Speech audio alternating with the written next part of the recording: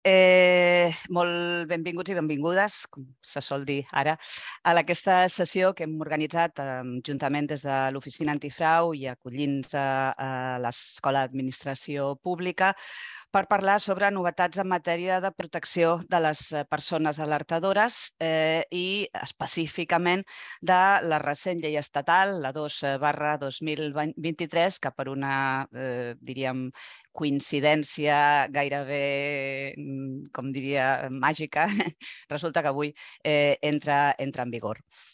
Eh, farem eh, una lectura que jo en deia aquí mig en broma amb els companys de l'oficina antifrau a peu de BOE, perquè el nervi de la sessió d'avui serà l'anàlisi de la llei.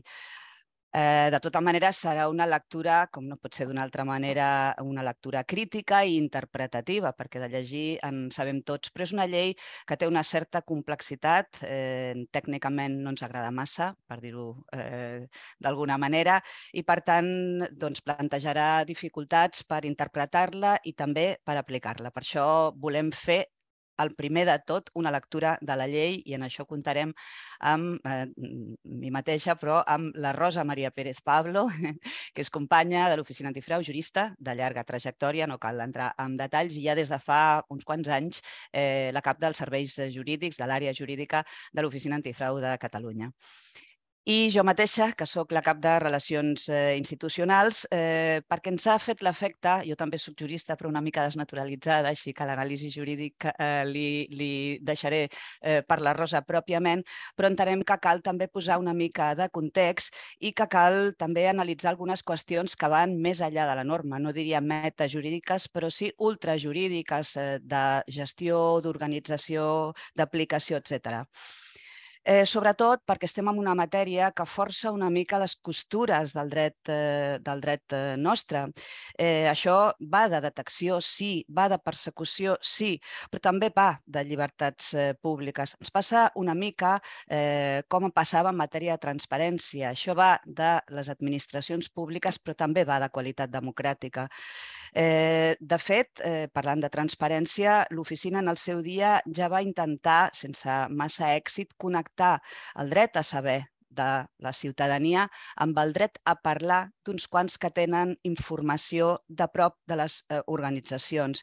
Això ho reconeix més recentment l'informe 2022 del Parlament Europeu sobre Drets Humans i Democràcia al món, que connecta el dret a saber amb la llibertat d'expressió, la llibertat d'informació i la llibertat de premsa. L'Oficina Antifrau fa molt temps que ha treballat sobre aquestes matèries, ja des del 2009 en la seva eh, primera, primera memòria, feia tot just pocs anys que s'havia ratificat la Convenció de Nacions Unides contra la Corrupció, que l'estat espanyol ha estat extremadament renuent a l'hora d'aplicar. Fins i tot ara no tenim encara una agència, una oficina anticorrupció, tot just s'esmenta en la llei de protecció dels alertadors que ens ve d'Europa, recordem, ens ve d'Europa, eh, una estratègia anticorrupció que eh, mm, diríem que eh, crea eh, l'estratègia, però, i per tant, la funció i la necessitat hi és, però encara no tenim òrgan. Eh, l'oficina ha participat en, en diverses xarxes tan internacionals com amb la resta d'agències i oficines anticorrupció de l'Estat, urgint a la transposició, això ens n'hem sortit, tenim llei, però també que fos respectuosa amb la lletra i l'esperit de la norma. I aquí ja no sé si ens n'hem sortit tant, si tenim present com les eh, institucions internacionals, organismes internacionals com la xarxa WIN ha eh, considerat defectuosa en alguns punts la transposició i com la pròpia oficina dins de la xarxa ha mirat d'esmenar alguns eh, punts oscurs. Eh, després eh, segurament tindrem ocasió de tocar-los. Tot aquest coneixement a partir del baròmetre de l'Oficina Antifrau, a partir eh, del que ens diu la gent quan li preguntem per què no denunciaria un cas de corrupció que conegués, a partir de les nostres denúncies que s'han disparat amb l'anonimat d'un promig de 250 a més de 500 i també eh, del contacte amb els nostres propis alertadors i d'una certa frustració que experimentàvem no tenir prou competències per protegir les persones que s'acostaven a l'oficina antifrau per comunicar informació que consideraven rellevant. Des d'aquest punt de vista podem dir que l'oficina eh, ha eh, sigut pionera i el Parlament de Catalunya va ser pioner a l'hora de fer una oficina de lluita contra el frau i ara també ho ha estat novament, si podem fer servir aquesta paraula a vegades una mica enfàtica, a l'hora d'atorgar eh, a l'oficina antifrau competències, funcions de eh, protecció de les persones informants, potestat sancionadora, de manera que pot protegir, pot procedir perdó, a dictar resolucions sancionadores mesures, d'adoptar mesures provisionals i a l'execució eh, forçosa i també eh, doncs, eh, contribuir a, eh, quan es desenvolupi, que ja ha començat el procés, una llei eh, catalana, doncs mirar que no tingui les llacunes i els, def els defectes perdó, que sí que constatem que té eh, la llei estatal. Comencem, fet aquesta presentació gairebé obligada, personal i eh, institucional, comencem, eh, entrem en, en matèria. Eh, Deixeu-me que comparteixi eh, la presentació que tenim eh, preparada, no sé si ja la veieu, que compartirem la Rosa i jo eh, mm, una mica també eh, fent-nos eh, comentaris recíprocs eh, durant eh, tota, aquest, tota aquesta mm, sessió. Eh, el fet és que eh, la dades de situació, eh, les que teniu en pantalla, procedeixen de l'Associació d'Examinadors de Frau Certificat, les dues primeres i del darrer Eurobaròmetre especial sobre la corrupció, eh, ens, eh, fan, eh, ens posen sobre la pista de eh, com, quin eh, sentit o quin propòsit eh, té eh, l'actual marc normatiu, els drets i obligacions eh, que estableix i com eh, desenvolupa o com vol fer efectiva la protecció de les persones que denuncien, que informen o comuniquen, diu la llei, que ens alerten dels casos de corrupció i d'altres lesions a l'interès públic. D'una banda, eh, és un propòsit utilitarista de detecció, d'investigació i, en definitiva, de lluita contra la impunitat. El que no es denuncia sovint no es coneix i, per tant, no es persegueix i no es castiga. Això justifica, en part, la eh, visió de la directiva europea sobre la bona fe i, portant l'argument a l'extrem, la pràctica americana de premiar els eh, denunciants en percentatge sobre la recuperació d'actius. Això no respon a una lògica inventada. Aquest objectiu eh, s'inspira o és al darrere d'altres figures a l'ordenament jurídic continental com les atenuacions institucions a qui col·laborar amb la justícia. Però això només una, és una part del propòsit d'aquest nou marc eh, normatiu i, en el fons, d'un nou marc mental a què ens força. Hi ha una part que és deontològica, que és ètica, que està lligat, com deia a l'inici, als drets eh, fonamentals, a la llibertat d'expressió, a la llibertat d'informació i, en definitiva, un últim terme, a la llibertat de premsa. En aquest sentit, és molt il·lustrativa la recent sentència del cas eh, LuxLeak, eh, que eh, és en relació als anomenats eh, tax ruling, aquest règim privilegiat de tractament fiscal pactat entre el Gran Ducat de Luxemburg i més de 300 multinacionals, perquè acaba estava considerant en la sentència recent que la limitació a la llibertat d'expressió de l'empleat de la companyia PricewaterhouseCooper eh, era innecessària en democràcia.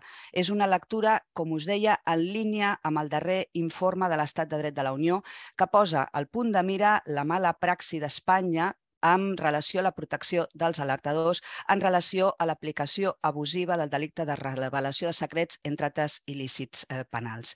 Per tant, crec que és eh, bo que tinguem aquesta doble mirada i crec que és una mm, informació de context per eh, prèvia a l'entrada eh, en matèria i a l'anàlisi eh, en pormenors eh, de la nova norma, perquè probablement això és el que és difícil de veure més enllà de la lectura eh, de la llei.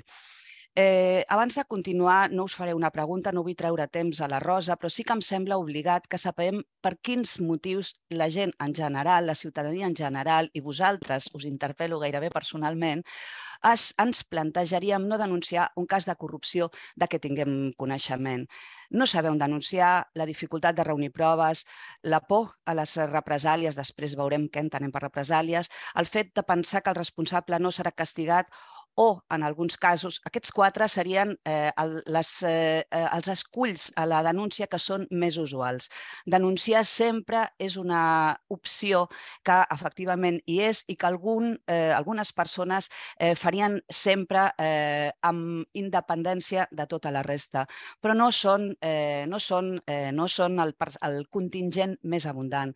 La major part de les persones que entrevistem, que encastem en el nostre baròmetre eh, bienal, no denunciaria perquè no té proves, més de la meitat, per por a les represàlies, un 29% que es manté gairebé inalterable al voltant del 30% en tots els baròmetres que hem fet, o bé, en menor mesura, o perquè no confiem en l'eficàcia del sistema i, per tant, pensem que el responsable no rebrà el càstig corresponent, o perquè no sabem on anar i, per tant, no estem prou informats, no tenim prou coll avall a qui puc acudir i qui farà aquesta funció d'investigar i, en definitiva, de eh, sancionar o de fer que algú altre eh, sanciona o castigui aquest tipus eh, de conductes. Tenim un marc normatiu eh, nou, tenim un marc eh, normatiu on hi ha diverses normes a considerar. En primer lloc, la directiva europea, vigent des de 2009. De vegades amb la Rosa parlem de que eh, parlem, es, es fa molta referència a la llei espanyola, però la llei eh, europea, la norma europea, és vigent des de 2009 i ja estableix una sèrie d'obligacions que estaven eh, vigents, que estaven vives abans de la transposició. Transposició que arriba el 20 de febrer que com us deia avui entra en vigor i que regula la protecció de les persones que informin, aquesta és la, el nom que, o el, el concepte que prefereix eh, la llei estatal sobre infraccions normatives i lluita contra la corrupció.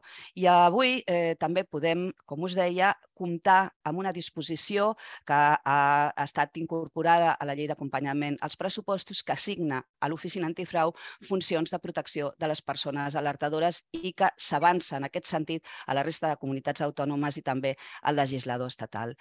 N'inferim diverses vies per informar, n'inferim la obligatorietat privat del canal intern. Veurem amb quin, amb quin abast i l'admissió, entre novetats molt rellevants de les denúncies anònimes que l'Oficina Antifrau ja fa molt temps que ve admetent amb èxit perquè són ara per ara gairebé el 70% de les que eh, rebem. Per tant, podríem parlar d'un marc normatiu en construcció i eh, el anirem eh, disseccionant al llarg d'aquesta eh, sessió. Eh, jo deixo de eh, compartir ara i pot eh, fer-ho la Rosa. No sé si ho he fet prou bé i, eh, Rosa, tu pots... Eh, jo he de deixar de compartir i deixar que tu facis eh, lo propi. El Zoom no dona opció de que puguem governar un mateix eh, PowerPoint a quatre mans. Això és una... Aviam, intentem-ho, intentem-ho. Jo, jo tinc una bona amiga des de la facultat que, que ja ho deia quan estudiàvem fa molts anys, que el jurista no entén la tècnica. En el meu cas, el jurista de la meva edat, i en el meu cas, és, és cert. Intentaré, crec que estic compartint ara, Lourdes. Sí, sí jo ho veig bueno. perfecte. Si no és bueno. que algun dels participants ens avisi de que hi ha alguna incidència, Perfecte. tot, tot ok. Pues intent, intentaré no liar-la gaire. El meu, lo meu és, és, és més el dret que, que, que els powers i que el Zoom. Eh, intentaré, intentaré no liar-la massa i, i, i fer-ho el més bé que pugui amb, amb la pantalla. Um, moltíssimes gràcies per venir a tots. Veig que estem bastant, bastant persones, bastants persones, crec que unes 300 persones, per tant ens felicitem d'això. Eh, tinc una doble pressió avui, primer perquè per la qualitat tècnica de les persones assistents, eh, col·legues tots, amics, bons amics, alguns també, i també pel moment històric que crec que estem. Jo no sóc molt donada a exagerar, Uh, però crec que avui el eh, primer que s'ha de felicitar és a l'escola per la clarividència. Mm, és cert, com deia la Lourdes, que, que la data d'avui no, estava, no estava triada. Um, jo diria que quan es va organitzar la jornada la, llei, la llei estatal no estava ni publicada i es va triar com a data per, per, per tenir aquesta conversa amb vosaltres, a data d'avui, que per casualitat o per casualitat o no, per vacatio legis, pel còmput de termini del Codi Civil, avui entra en vigor eh, la llei estatal.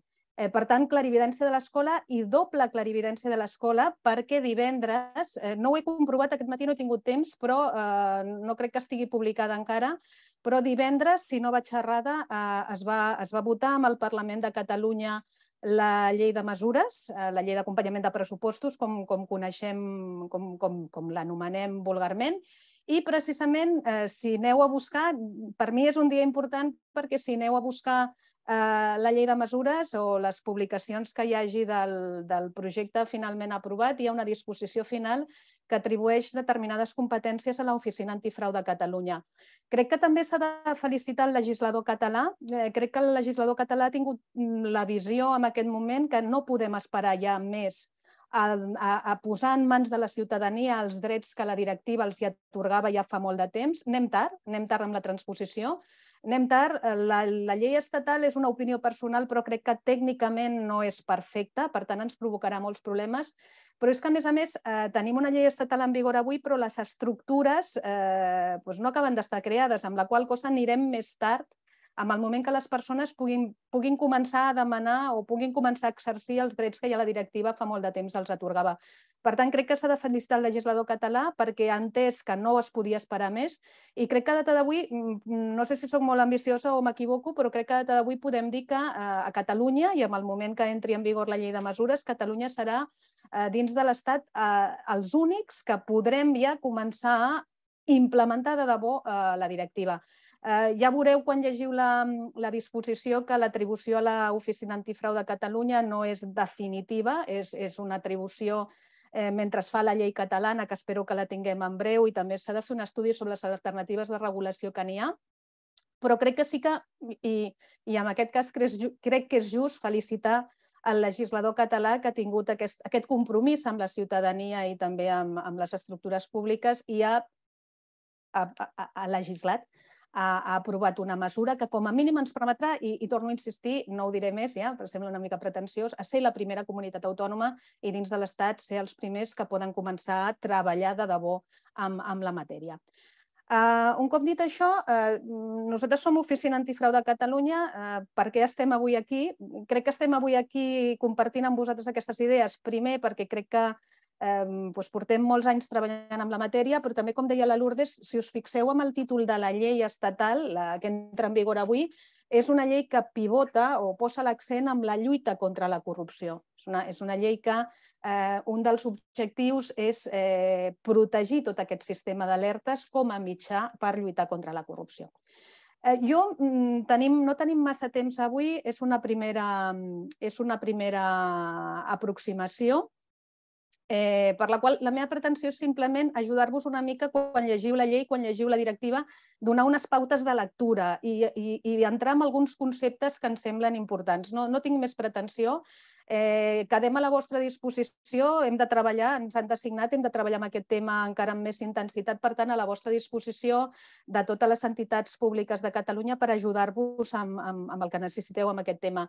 Algú preguntava per les qüestions o alguna cosa així, si posaríem a disposició el PowerPoint, crec, crec que sí. O sigui que no només el PowerPoint, que hi veureu que és molt simple, sinó qualsevol cosa que necessiteu. La Lourdes sí. em confirma que sí, que tindreu els materials a la vostra disposició.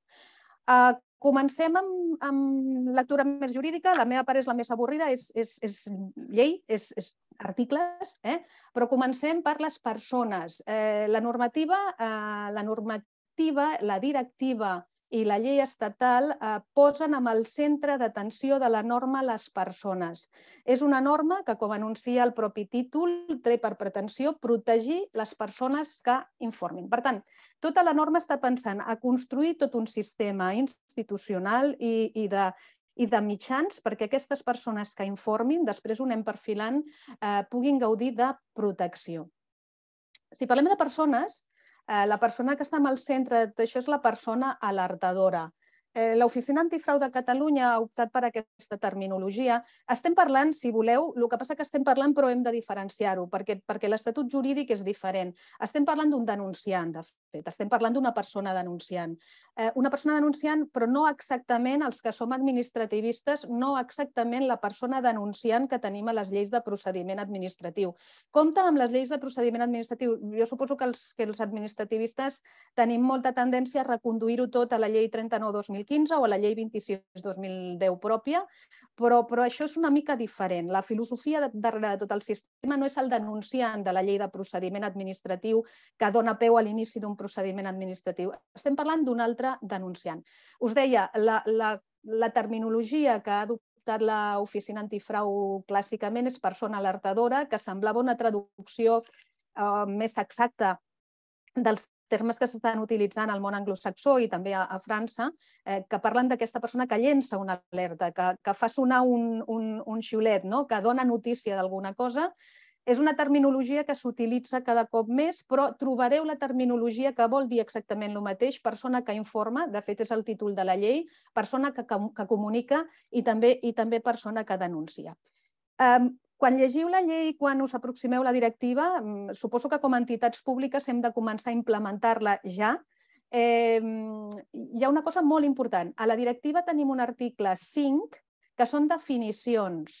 Eh, crido l'atenció sobre aquest aspecte perquè eh, hi ha alguna terminologia amb la llei estatal que deriva de directiva que pels administrativistes, eh, pel, pels que treballem a l'administració i tractem amb lleis administratives, potser no signifiquen exactament el mateix. Per tant, jo crec que per entendre la llei estatal hem d'anar a la directiva i mirar aquell apartat de definicions. Per exemple, donar resposta eh, que s'utilitza la llei estatal té una definició en directiva o seguiment té una definició en directiva. Igual que tots aquests conceptes que, que comentarem ara també els teniu eh, definits a la directiva. Quan trobeu la terminologia persona alertadora, eh, estem parlant a la persona que comunica, eh, la persona que dona notícia d'alguna cosa que està passant amb la seva organització, després entrem, i que és preocupant, que no és lícit, que infringeix la normativa. Um, aquí tenim el primer problema perquè el PowerPoint no em respon. Lourdes, no, no passa. Eh, a veure, no miro de... M'ha deixat, m'ha deixat passar, però no em deixa...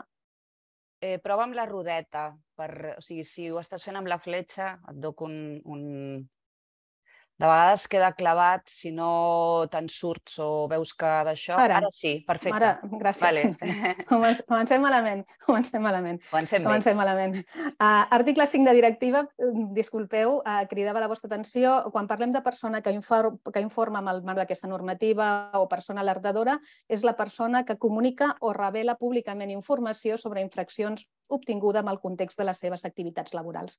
Entrem amb més calma en posterioritat, però aquí ja trobeu alguna de les notes que caracteritzen tot aquest sistema de protecció que tenim després de directiva, després de llei estatal.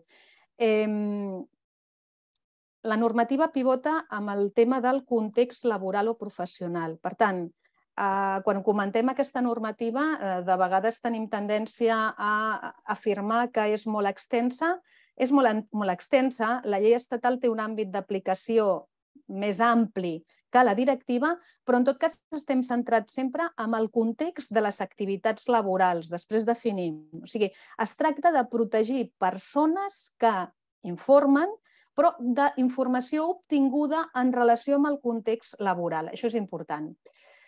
Eh, un altre concepte molt important amb la directiva, i aquest concepte també crido la vostra atenció perquè eh, tenim una definició a l'article 5 de la directiva que us comentava abans, i és un concepte que, si no caiem amb la definició de la directiva, podríem tenir algun problema. Quan parlem de persona afectada en aquest àmbit, eh, parlem de la persona assenyalada a la denúncia com la persona relacionada amb la infracció o amb la qual s'associa la infracció. Uh, estem parlant d'una persona alertadora que comunica, en principi dins de la seva organització, una informació sobre una mala praxis que ha tingut coneixement amb el context de la seva activitat laboral. Un funcionari que informa d'alguna irregularitat en matèria de contractació pública, que ha tingut coneixement amb el context laboral. La persona afectada, eh, i després se li reconeixen també uns drets amb la normativa, és la persona a la qual s'associa la infracció, la persona que podria estar darrere de la infracció que es denuncia. I un altre concepte que, que potser nosaltres no estem molt acostumats eh, en general és el concepte de persona facilitadora. Quan parlem de persona facilitadora, estem fent referència a persones que en el marc de l'organització que presta serveis la persona informant, simplifico molt, l'ajuden, assisteixen a la persona alertadora amb el procés de l'alerta, de la comunicació. Eh, per què parlem d'aquestes persones facilitadores? Perquè també tenen dret a certa protecció. Després, després ho veurem. Per tant, tenim les persones, eh, la llei, quan llegim la llei estatal, mm, aquests conceptes importants, persona que informa, persona afectada, persona facilitadora. Estic encara en conceptes bàsics i aquí ja entrem en un tema que... No sé si volies afegir, Lourdes, alguna cosa. Sí, només una, un, també per clarificar, i ho dic perquè potser ens eh, menjarem una mica de temps amb aquestes clarificacions, però penso que val la pena. Eh, la directiva ja és restrictiva quan defineix eh, el unes figures que en el món del whistleblowing, en el món de l'alertador, abans de la directiva, molt abans de la directiva, que no deixa de ser un consens entre els estats, ja hi eren. Eh, per tant, una pinzellada molt ràpida. Això neix als Estats Units amb eh, els que eh, denuncien les lesions dels drets dels consumidors. El Ralph Nader és qui, un advocat que va pladejar contra la General Motors pels eh, defectes eh, de seguretat dels seus motors, eh, és qui va encunyar el terme whistleblower. Aleshores, eh, nosaltres, com com deies, eh, adoptem eh, com a, a l'oficina, ens agrada el terme alertador perquè té una connotació positiva eh, i no una connotació neutra o negativa. Neutra és la que adopta eh, la llei, que parla d'informant, de comunicant o informant, i com tu deies, eh, el terme denunciant, que algú el defensa moltíssim, per exemple, els nostres companys de l'Agència Valenciana, nosaltres sempre considerem que és un terme que és realista, però que està interferit per aquesta cultura administrativa i fins i tot per la nostra cultura penal. I pel que fa als facilitadors, efectivament, els facilitadors són els que ajuden l'alertador, al denunciant, important que quedi clar que la llei només els, eh, els eh, mira en el context laboral, el que ajuda que és company o que és familiar. No parla, no acull, i tampoc no ho fa la directiva, els facilitadors periodistes, activistes, ANG, ONGs, perdó, que o bé fan notícia de la, de la denúncia, la converteixen en notícia, o la articulen, la canalitzen cap a eh, la revelació pública. I ja no parlem, que això ja tampoc no surt aquí eh, referit, a altres figures que estan a l'òrbita òrbita. Ho dic per eh, aclarir algunes confusions que són bastant, bastant freqüents. I és aquestes persones que estan a l'òrbita dels alertadors, com són els eh, eh, testimonis eh, protegits o penedits, que tenen un règim eh, jurídic determinat, i després els anomenats filtradors, els líquers, que són els que alliberen massivament la informació, sigui de manera indiscriminada, és a dir, obrint cables com els de Wikileaks, o sigui de manera processada, com ho fa el Consorci Internacional de periodistes d'investigació, el ICIC, en els papers de Panamà, etc. En tots aquests casos, el nucli per considerar aquestes persones alertadores és que facin revelacions que tenen a veure amb l'interès públic en totes les seves eh, modalitats. Algun nom molt ràpidament. En temes de, de frau fiscal, doncs els, eh, el tema del, de la llista Falciani o el tema de LuxLeaks. Però hi ha altres coses, irregularitats comptables, cas Enron, protecció de dades, Cambridge eh, Analytica, drets humans, el Joe Darby a partir d'aquelles revelacions sobre l'ús eh, de tortures com a eh, mitjà de guerra, etc. Val? Eh, crec que és important fer aquesta, aquest acotament perquè la, la llei i la directiva ja eh, descriuen un univers més restringit que el que comúment es feia servir. Per això tenim a vegades algunes discrepàncies quan la llei parla de cultura de la informació que és una cosa molt equívoca, quan en realitat el normal, el que era estàndard, era parlar o de cultura d'alerta o de cultura de denúncia. I deixo aquí la punt rosa, si... gràcies pel, doncs seguim, seguim amb més conceptes que, que, que hem d'entrar a partir de l'entrada en vigor de la llei i de, de, de la implementació de directiva, eh, que són el tema de canals. Um, la directiva, després a la llei estatal ho hem complicat una, una mica, el meu judici massa, però, però s'ha complicat una mica el concepte, poder, ara ho veurem, però la directiva ens parlava de canal intern d'alertes i de canal extern d'alertes, de denúncies internes i de denúncies externes. El sistema que vol que construïm la directiva és tenir en cadascuna de les nostres entitats públiques, jo més em centraré en públiques, avui de privada no en parlarem, però, però públiques i privades, o sigui, no és una llei només pel sector públic, sinó és una llei, és una directiva per sector públic i privat. Llavors, la directiva el que vol és que a casa nostra cadascú de nosaltres tinguem un canal intern d'alertes o un canal intern de denúncies, un canal intern de comunicacions, sí?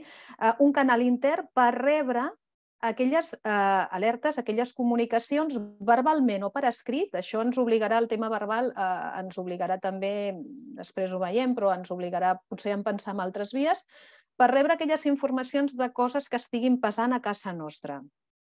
Per tant, Quan parlem de denúncia interna, amb el context directiva, amb el context llei, ens estem referint a que a nosaltres, a casa nostra, tenim un canal per rebre denúncies sobre coses que hem fet nosaltres mateixos i que gent vinculada amb aquesta entitat propietària del canal amb un context laboral pugui presentar comunicacions. Eh, tindrem aquests canals de denúncia interna, eh, cadascú a la nostra entitat, i després hi haurà autoritats competents eh, designades eh, per fer aquestes funcions, que a més d'això fan altres coses que podran rebre denúncies externes. O sigui, la denúncia externa és la denúncia sobre aquestes infraccions que s'han produït, protegides per la directiva, protegides per la normativa, però la nostra denúncia ja no la portem a casa nostra, sinó la que portem a una autoritat competent que té aquesta competència atribuïda. En aquest cas parlem de canals externs d'alertes i parlem de denúncies externes. I parlem de revelacions públiques eh, per fer referència a la posada a disposició del públic d'aquestes informacions. Mm, una mica no és exacte, no és exactament així 100%, o sigui, no és, un, no és absolut el que diré, però el sistema que pensa la directiva és una mica un sistema en cascada. Eh, sí que us recomano que després aprofundiu amb, amb la llei, com ho regula i com ho regula la directiva, però la filosofia que hi ha darrere d'això és que tu primer denuncis a casa teva, posis en relleu, està passant això, hem de reaccionar. Després de fer aquesta gestió, en el cas que no hagi prosperat, podries portar el teu tema amb un canal extern i eh, la revelació pública jo crec que eh, es preveu com una mica mm, l'última ràtio, o sigui, l'últim sistema. No és ben bé així, eh? la directiva després, o la llei, si, si voleu que anem a la llei, si aneu seguint una mica la llei, sí que es configura el canal intern, el que haurem de tenir cadascú de nosaltres com a canal preferent, article 4, el sistema intern d'informació és el cauce preferente per a informar sobre accions o omissions, però sí que sempre hi ha una possibilitat que et deixen no utilitzaràs aquest canal intern amb el cas que si diu que utilitzaré el canal interno siempre que se pueda tratar de manera efectiva la infracció i el denunciante considera que no hi ha riesgo de represàlia. Per tant, tenim aquestes tres vies per eh, informar, per alertar d'això que està passant a casa nostra i que és il·lícit, sí? anar al canal intern, anar al canal extern o fer una revelació pública i la normativa, la directiva i després la llei ens dirà que el preferent és el canal intern d'alertes, però em dirà també en quins supòsits em puc saltar. Estic parlant d'una manera molt planera, mm, després, si voleu, podem llegir la llei, que ho diu més bé que ho estic dient jo, en, quin, en, quin, en quins casos em puc saltar aquesta cascada una mica lògica que ens dibuixa la normativa. Estem encara en conceptes bàsics, estem encara en conceptes bàsics i us deia, els conceptes de directiva són aquests tres que acabem de, que acabem de parlar, eh, canal intern, canal extern i revelació pública. La llei estatal l'ha complicat una miqueta i la llei estatal el que ens obliga a tenir a casa nostra és un sistema intern d'informació. Això és el que hem de començar a treballar ja. Eh, de fet, mm, hi ha moltes entitats públiques que ja porten treballant temps amb això, amb aquest sistema intern d'informació. El sistema intern d'informació a mi em costa molt d'imaginar-ho. Uh, realment em, em, em costa.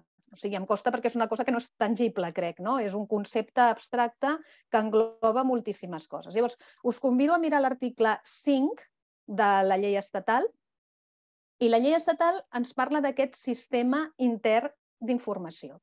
Aquest sistema intern d'informació eh, ens obliga a tenir-lo ens diu l'article 5 que el responsable d'implementar-lo és l'òrgan d'administració o de govern de cada entitat. Ens diu una altra cosa molt important.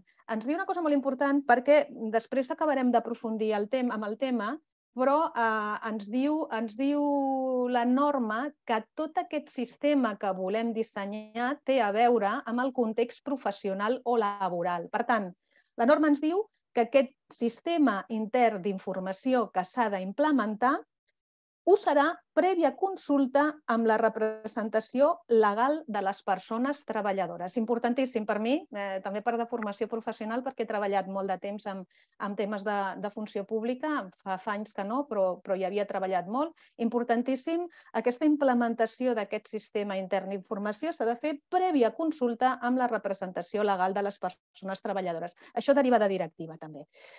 Què és el, el sistema intern? Pues, si aneu seguint l'article 5, ens diu que el sistema intern d'informació haurà de. I a partir d'aquí ens va donar ens va donant l'article els elements que han de formar part d'aquest sistema intern d'informació. Llavors, veureu, jo per mi és una cosa difícil d'imaginar perquè no és una cosa que pugui tocar és, és un conjunt de diverses coses. Llavors, eh, vaig saltant per l'article, no el llegiré, després ho podeu fer, però el sistema intern d'informació ha d'integrar els diferents canals interns d'informació que pugui haver dins de l'entitat. Eh, penseu que la llei i la directiva, eh, amb el cas que m'interessa avui, eh, que és el tema del sector públic, és una normativa que aplicarem tant a l'administració de la Generalitat de Catalunya, que és una administració territorial amb unes característiques determinades, amb unes dimensions, amb unes competències determinades, i amb un ens local petit. Eh, per tant, la llei estatal el que està pensant és que dins de cada ens pugui haver un canal intern o podria haver-n'hi més d'un. Improviso, eh, però jo suposo que amb una administració general de l'Estat, eh, a lo millor eh, és, és creïble tenir un canal per ministeri, estic improvisant, eh, simplement una mica per transmetre la idea, i fins i tot amb aquells ministeris que hi hagi col·lectius específics, a lo millor un canal, més d'un canal per ministeri, allà on hi hagi col·lectius específics que presten serveis públics de determinada importància. Per tant, amb una entitat petita com nosaltres, eh, nosaltres l'Oficina Antifrau portem ja mesos jo diria mesos, jo diria més de mesos, any, potser treballant amb el nostre canal intern de denúncia. Eh, tenim la resolució que aprova una instrucció pràcticament conclosa, el primer esborrany, i crec que estarà, jo crec que es publicarà a la pàgina web en uns dies, o amb la seu electrònica o amb la pàgina web en uns dies, potser una setmana, eh, la posarem també a disposició de tothom per si algú vol fer observacions. Llavors, bueno, eh, sotmesa a crítica, eh, podreu veure-la i podreu veure una mica com hem pensat nosaltres amb el nostre canal intern de denúncies. Eh, sotmès a tota la crítica, us agrairem qualsevol observació que, que, que vulgueu fer sobre, sobre el que hem estat construint. Nosaltres pensem en un canal intern de denúncies. Nosaltres som una entitat, mm, em penso que som uns 50 treballadors més o menys, doncs pensa en un únic canal intern de denúncies, amb, una, amb, una, eh, amb un ens més més gros, doncs segurament eh, podríem pensar en diferents canals interns de denúncia. En tot cas, aquest canal o canals interns de denúncia han, han d'estar integrats amb aquest sistema intern d'informació. El sistema intern d'informació, amb aquest article, si el llegiu amb més calma, veureu que també dins del sistema, a més del canal, hi ha d'haver un procediment hem de dissenyar un canal per rebre aquestes alertes internes i hem de dissenyar, de fet hem de dissenyar poc perquè la llei i la directiva ja el dissenyen, vull dir, només l'hauríem de recollir, jo crec, eh? és implementar-lo, però eh, tots els requisits, els requeriments d'aquest procediment eh, estan establerts, crec que de manera molt minuciosa al meu judici, tant amb la directiva com amb, com amb la llei, com amb la llei estatal i suposo que acabarà de perfilar la futura llei catalana. O sigui que jo crec que simplement recollir el que ja està establert. No hem de regular, simplement implementar. Hem de dissenyar aquest canal o canals i aquest procediment. Um, els requeriments de la directiva i de la llei estatal sobre com han de ser són molt estrictes. Uh, tema confidencialitat, importantíssim.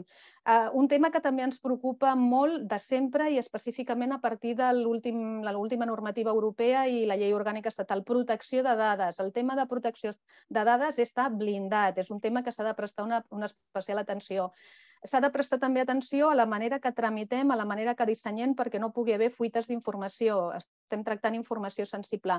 S'ha de pensar també en les persones que gestionaran tot això. Han de ser persones, els llocs de treball de les quals estiguin específicament configurats perquè aquestes persones siguin eh, immunes a les pressions. Tot això ho tenim a la normativa.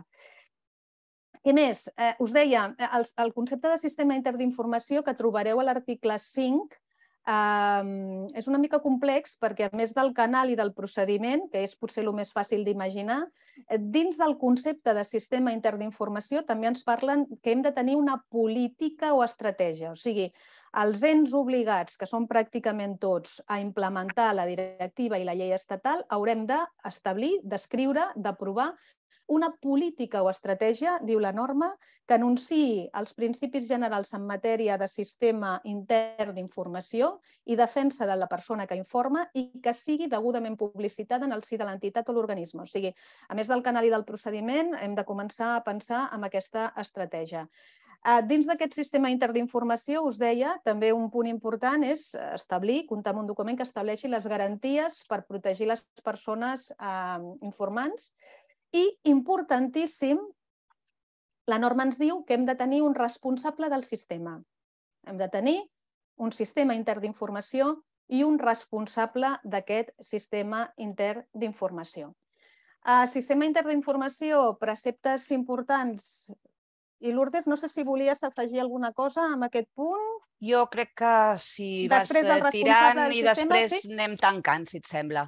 Vale, perfecte, doncs continuo, us, us faig una aproximació al responsable del sistema, article 5 essencial, si hem de començar a treballar ja des d'avui amb, amb, amb, amb tenir aquest sistema intern d'informació, també en paral·lel hem de començar a pensar en qui serà el responsable del sistema. El responsable del sistema el teniu a la llei estatal definit a l'article eh, 8, el responsable del sistema el designa l'òrgan d'administració o òrgan de govern de cada entitat. Eh, eh, la, llei, la llei, quan la llegiu, eh, tècnicament, tècnicament té algun problema. Eh, llavors, com a funcionari públic, jo quan llegeixo les lleis i alguna cosa que no entenc, penso que és culpa meva. I això és la frase aquella, no és culpa teva, és culpa meva, o no és culpa meva, és culpa teva. Aquí jo crec que puc dir, eh, i no m'equivocaré massa, que la culpa és de la pròpia llei. Trobareu articles que són contradictoris. És una llei que s'ha fet molt de pressa, s'ha fet molt de pressa, pressionat. Això són opinions personals, eh? aquí entro ja en el terreny d'opinió personal. S'ha fet molt ràpid, eh, s'ha fet molt ràpid, suposo que amb la pressió del procediment d'infracció a les institucions europees.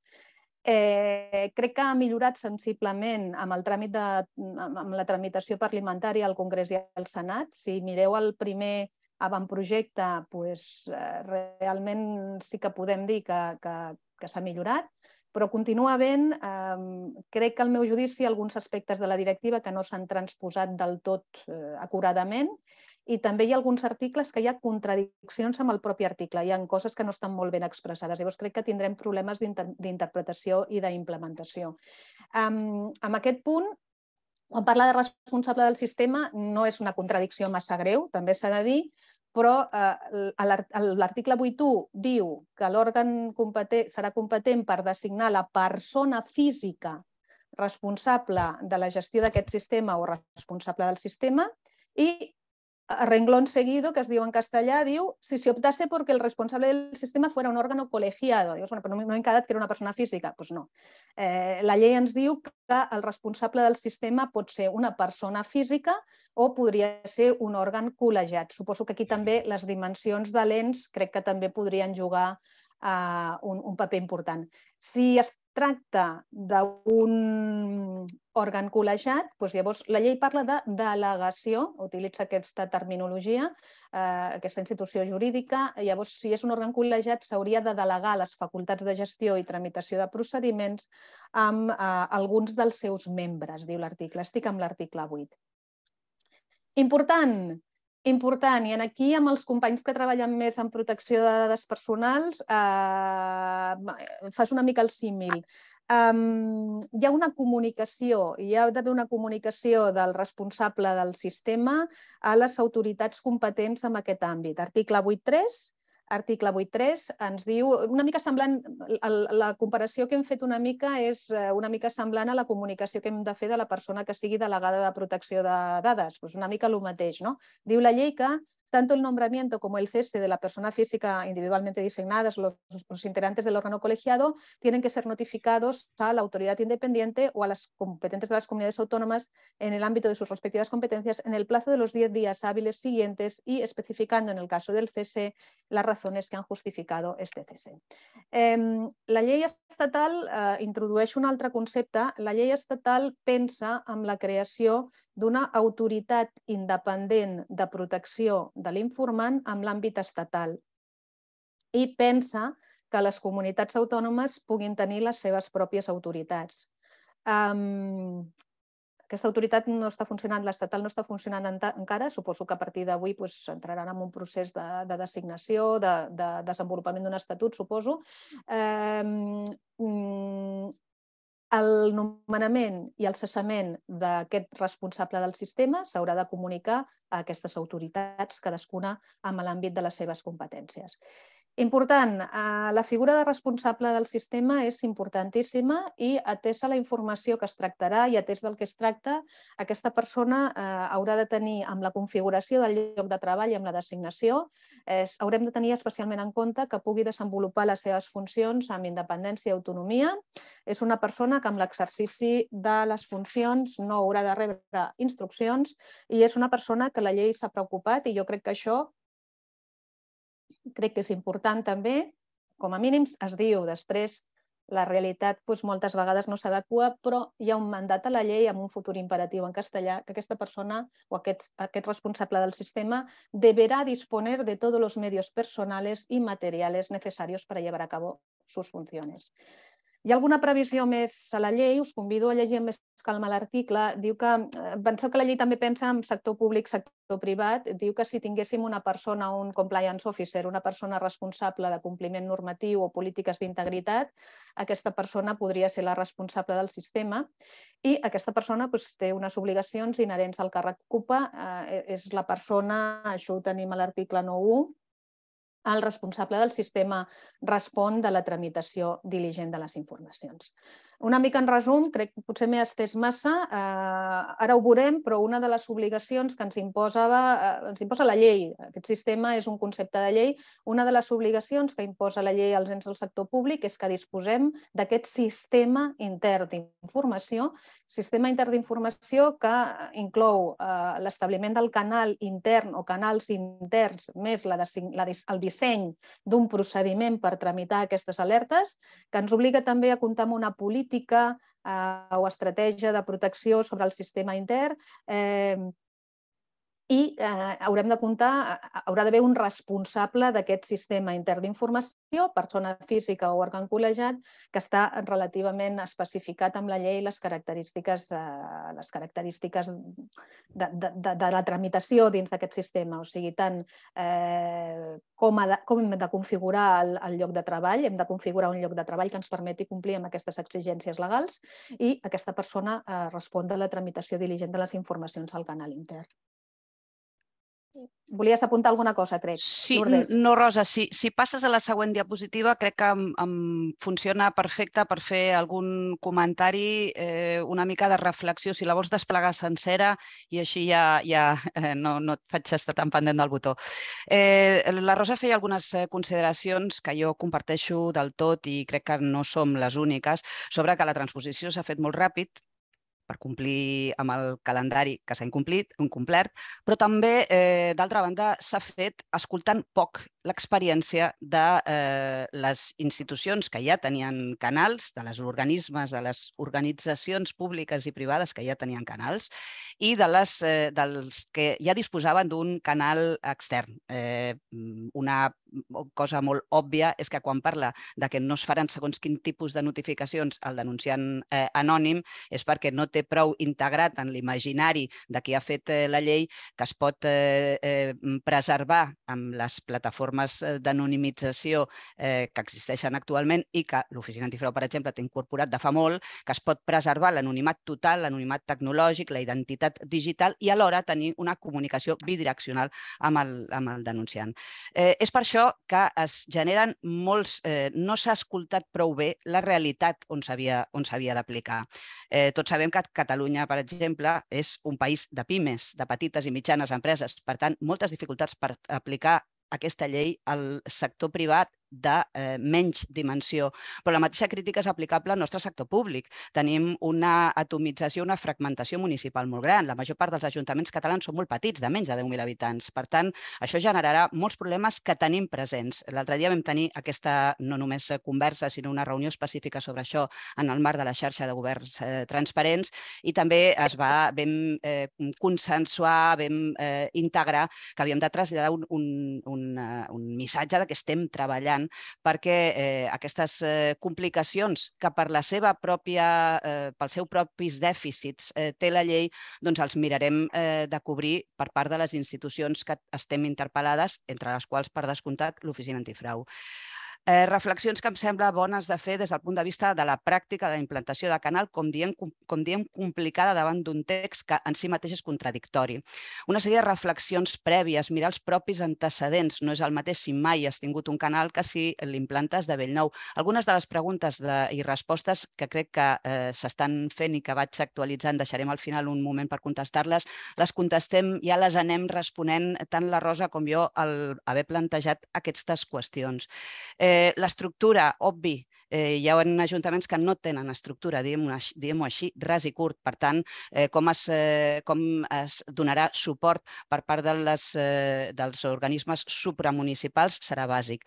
En aquest sentit, cal dir que ja les diputacions estan treballant amb eh, models eh, de reglamentació, de procediment, perquè eh, puguin ser d'alguna manera un mirall, una referència. També des del eh, Consorci AOC s'està ja pràcticament enllestint, queden alguns serrells de vulnerabilitats a cobrir molt petites, ja eh, per tenir una eina en el seu catàleg de serveis a disposició de tots els ajuntaments, això perquè fa el sector local.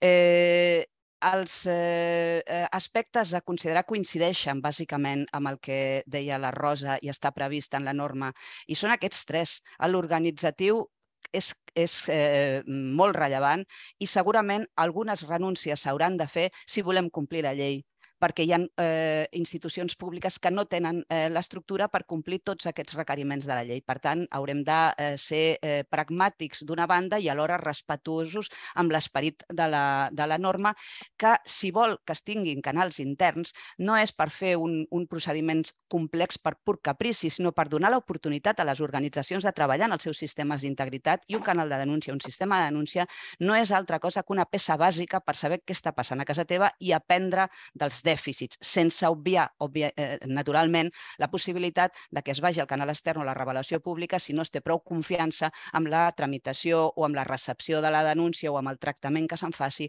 internament. Els aspectes eh, tecnològics potser són els menys, més senzills eh, de solventar un cop ens hi posem, Consorci ja s'hi ha posat i eh, l'Ajuntament de Barcelona, l'Oficina Antifrau, ja té amb, amb, amb, des de fa molt temps eh, les aplicacions oportunes. I els aspectes jurídics doncs, els anirem eh, construint per acompanyar a les eh, organitzacions eh, públiques en aquesta, aquesta implantació que serà difícil, que serà progressiva i que haurem d'anar perfeccionant una mica entre tots.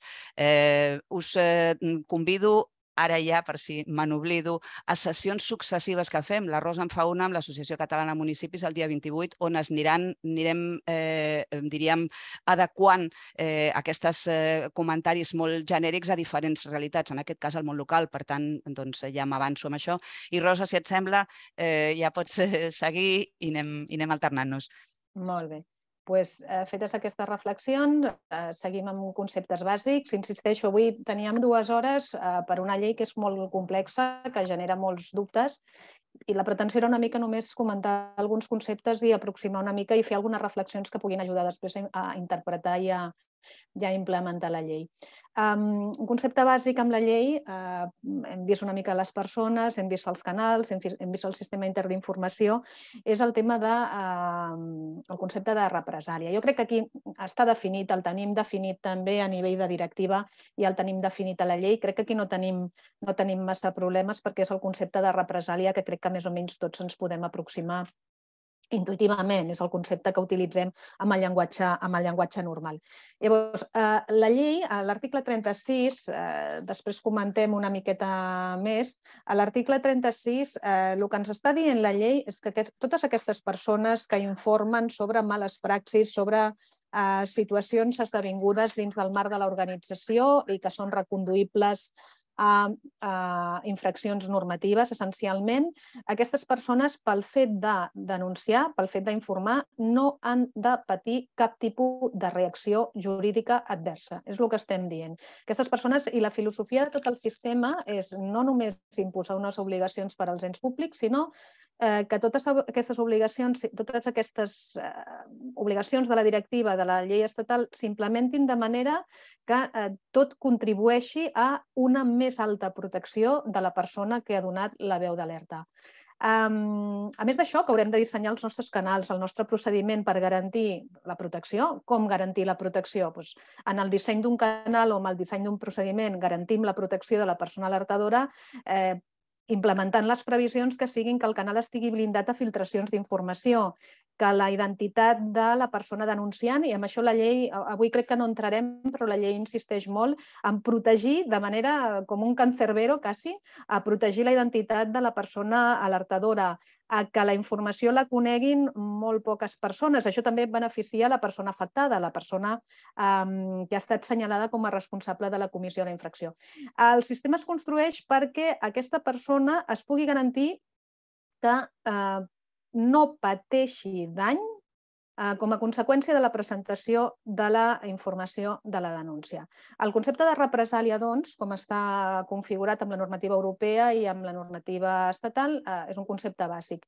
El teniu definit a l'article 36 i ens diu que eh, es considera, eh, s'entiende por represalia qualsevol actes o omissions que estiguin prohibits per la llei o, o que de manera directa o indirecta impliquin un tractament desfavorable que situï les persones que les pateixin en desavantatge particular en relació amb un altre, amb el context laboral o professional, només per la condició de persones informants o perquè han fet una revelació pública. Aquest és el concepte de represàlia que ens dona la llei estatal.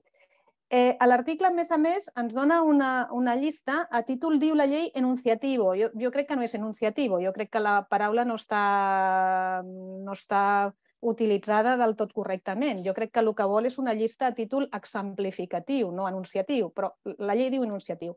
En tot cas, ens dona una llista d'actes, d'actuacions que es podrien considerar eh, represàlies. Eh, jo crec que tots intuïtivament també eh, entenem aquests actes com a represàlia. Una persona ha presentat una comunicació, una alerta interna, una denúncia interna i se l'acomiada una persona ha comunicat una cosa que estava passant dins de l'entitat, que era il·lícita i eh, se la discrimina, se li dona un tracte desfavorable, se li deneguen sistemàticament els permisos. Bueno, doncs tot això, eh, prohibició de represàlies, article 36, un precepte bàsic, teniu el concepte de represàlies i teniu aquesta llista a títol, jo crec, exemplificatiu.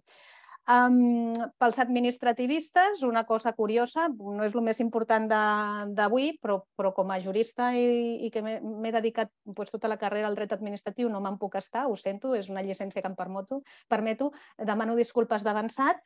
Amb l'article 36.5 tenim una causa de nulitat d'actes administratius. Simplement a títol de, eh, de curiositat eh, científica administrativa, eh, aquella definició que tenim d'actes nuls de ple dret amb la normativa administrativa, en aquest cas a la llei, actualment a la llei 39-2015, i aquella, aquella frase final de qualsevol altra que pugui venir establerta en una llei, doncs amb el 36.5 ens diu que els actes administratius que tinguin per objecte impedir o dificultar la presentació de comunicacions i revelacions i els que constitueixin represàlia o causin discriminació després de la presentació d'aquelles a l'empara d'aquesta llei seran nuls de ple dret i donaran lloc, en el seu cas, a mesures correctores o disciplinàries o responsabilitat i pot haver-hi la corresponent indemnització de danys i perjudicis. Simplement a títol de, bueno, com, a, com a cosa important, crec, però també curiosa, que s'ha una causa de nulitat específica per als actes administratius a l'article 36.5.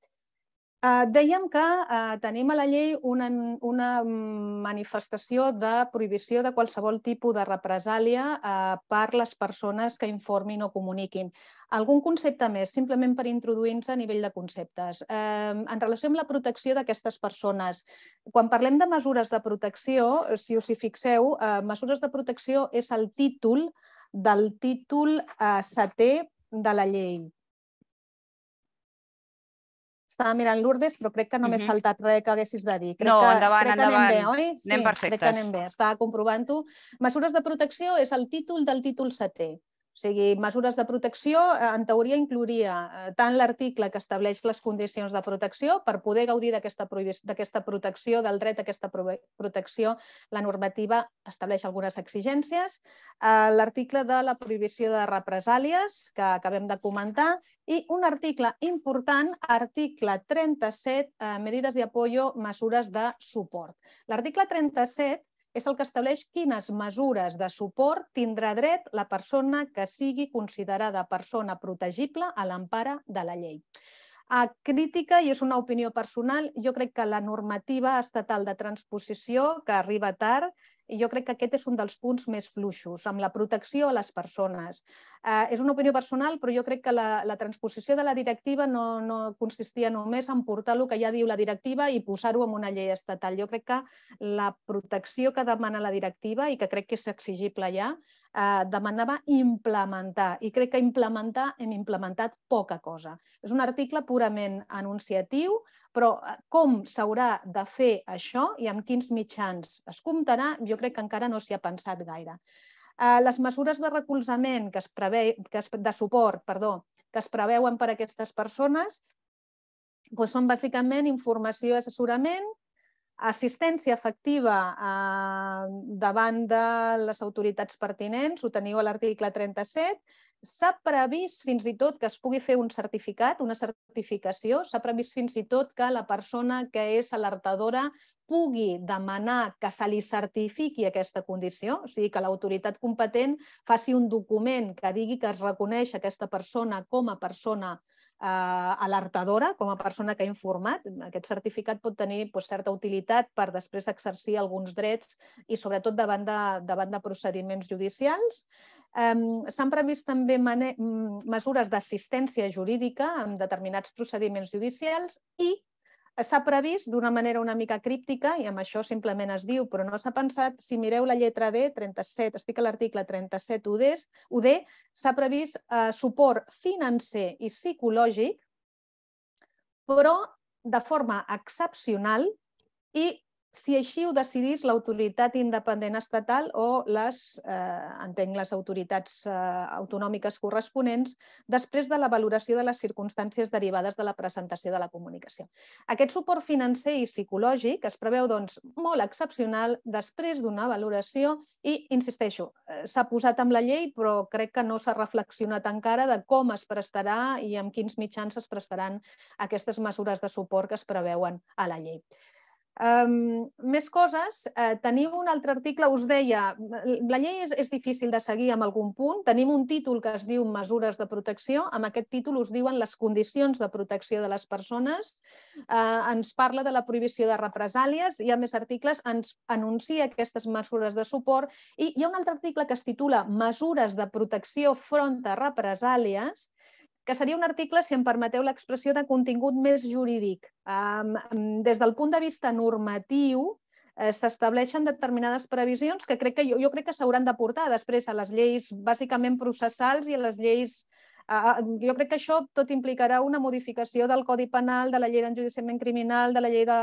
Hi ha alguna modificació amb, amb, amb les disposicions finals de la llei que jo crec que no són suficients, però aquestes mesures de l'article 38 són de tipus, estic explicant d'una manera molt planera, però més jurídica. O sigui, eh, ens parla des d'exempcions de responsabilitat quan hagis actuat eh, fent una denúncia protegida per aquesta llei, ens està parlant de inversió de la càrrega de la prova. Eh, la, la normativa d'inversió de la càrrega de la prova és, és la previsió és força similar a altres que s'han introduït amb, amb lleis processals. No? La persona que actui eh, protegida d'acord amb aquesta llei s'entendrà, eh, s'invertirà la càrrega de la prova sobre... M'estic explicant fatal, a veure si trobo, eh, com ho ha dit,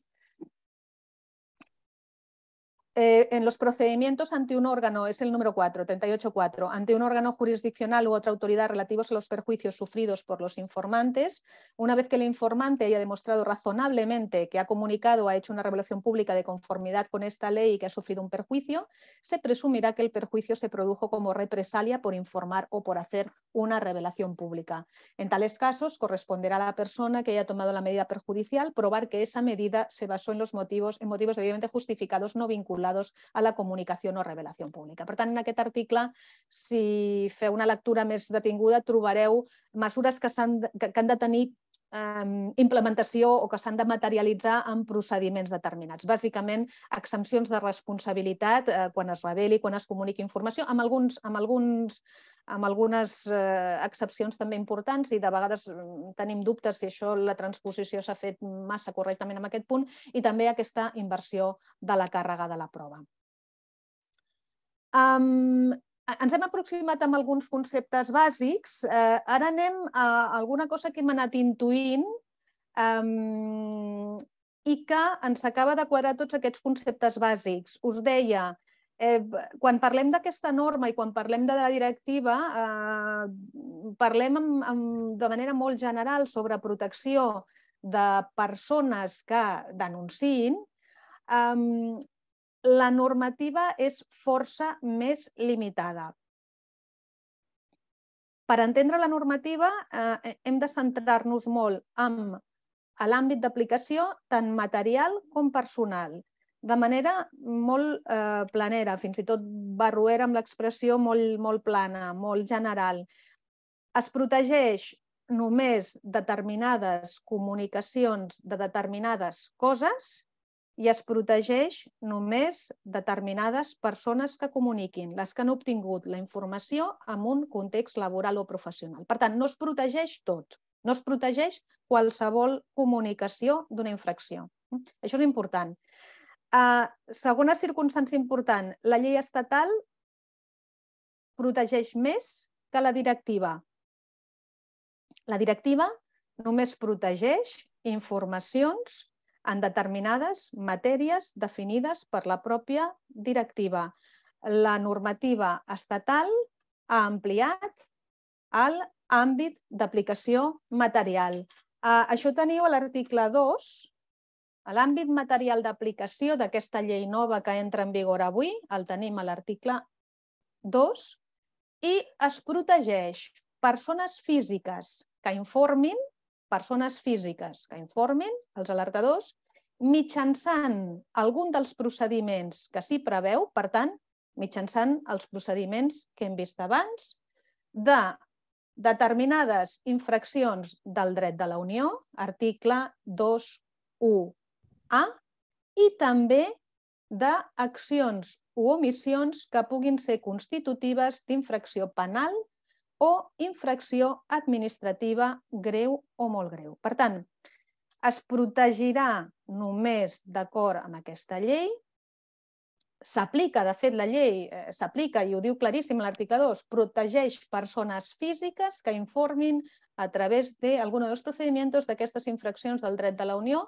que venen amb l'article eh, 2.1a, i de qualsevol infracció penal o infracció administrativa molt greu o greu és amplíssim, és amplíssim. Eh, jo crec que eh, amb l'àmbit del servei públic eh, crec que ha quedat fora poca cosa, per dir-ho així, però en tot cas, idea que vull transmetre és que no es protegeix tot, es protegeix eh, comunicacions amb aquest àmbit material. I aquí es protegeix el segon punt, i això deriva de la directiva, i hem insistit ja i, i torno, torno amb el tema, estem amb l'article 3, àmbit personal d'aplicació, diu que la presente ley se aplica a los informantes que trabajen en el sector privado o público y que hayan obtenido información sobre infracciones en un contexto laboral o professional. Allò de que informem ho hem sabut, simplifico, a la feina. És el que volia protegir la directiva i és el que s'ha portat a la llei estatal. Sí que cal dir que eh, que sigui context laboral o eh, professional s'entén a la normativa de manera molt àmplia. Eh, què incloem? Què incloem? Diu, diu l'article, segueixo l'article 3, eh, persones que tinguin la condició d'empleats públics o treballadors per compte aliè, autònoms, accionistes, partíceps i persones pertanyents a l'òrgan d'administració, direcció o supervisió d'una empresa, inclosos membres no executius. Insisteixo, la directiva, la directiva i la norma estatal eh, cobreixen tant l'àmbit privat com l'àmbit públic ah, i qualsevol persona que treballi per a o sota la supervisió i direcció de contractistes, subcontractistes i proveïdors. O sigui, jo entenc que, per exemple, en l'àmbit del sector públic eh, podríem informar el personal i també podria informar eh, una un contractista, un contractista que té un contracte amb l'entitat pública en virtut d'un contracte mm, dels definits per la llei de contractes de servei públic que amb el marc d'aquesta relació contractual s'entera doncs, d'una mala praxi. Um, encara el, el cercle és més, més ampli de protecció. Llavors, la, la llei estatal, d'acord amb la directiva, també protegeix a aquells que ja han acabat la seva relació, laboral o estatutària, però que van tenir coneixement dels fets en aquest context, i aquelles persones que estan a punt de començar la seva relació mm, de servei amb, eh, amb l'ens corresponent. I també altres persones que no són estrictament, eh, no són treballadors, però que eh, tenen relació amb l'estructura, amb, la, amb, amb el marc de la qual es produeix la infracció. Diu la llei que també apliquem llei els informants que comuniquin o revelin públicament informació sobre infraccions obtinguda amb el marc d'una relació laboral o estatutària ja finalitzada, una persona jubilada, eh, també s'aplica a voluntaris, becaris, treballadors en períodes de formació eh, i també aquells la relació laboral dels quals encara no hagi començat però que han obtingut la informació durant el procés de selecció o de negociació contractual. Per tant, eh, la llei s'aplica a determinades informacions obtinguda en un determinat context per determinades persones. Eh, la idea clau és context laboral o professional, tot i que és cert, com veieu, si llegiu després amb més calma l'article 3, eh, que sigui aquest context laboral o professional s'entén d'una manera més àmplia. A més a més, pel que fa a la protecció, pel que fa a la protecció, algunes altres persones podran ser mereixedores del dret a la protecció. Persones que no siguin exactament els denunciants, però que tenen una vinculació que els fa especialment vulnerables a accions de represàlia. Diu la llei, estic amb el, amb el 3.3, que les mesures de protecció de l'informant, eh, previstes amb el títol que hem vist abans, també s'aplicaran, si escau, diu els representants legals de les persones treballadores. Representants legals de les persones treballadores.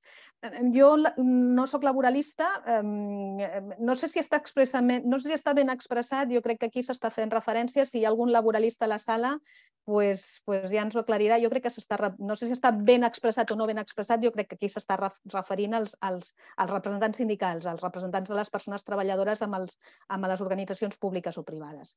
Um, també s'apliquen, si escau, a persones físiques que amb el marc de l'organització en què presti serveis l'informant l'assisteixin amb el procés, les persones facilitadores que hem definit abans. També persones físiques relacionades amb l'informant i que puguin patir represàlies. Ens posa un exemple, eh, com companys de feina o familiars de l'informant.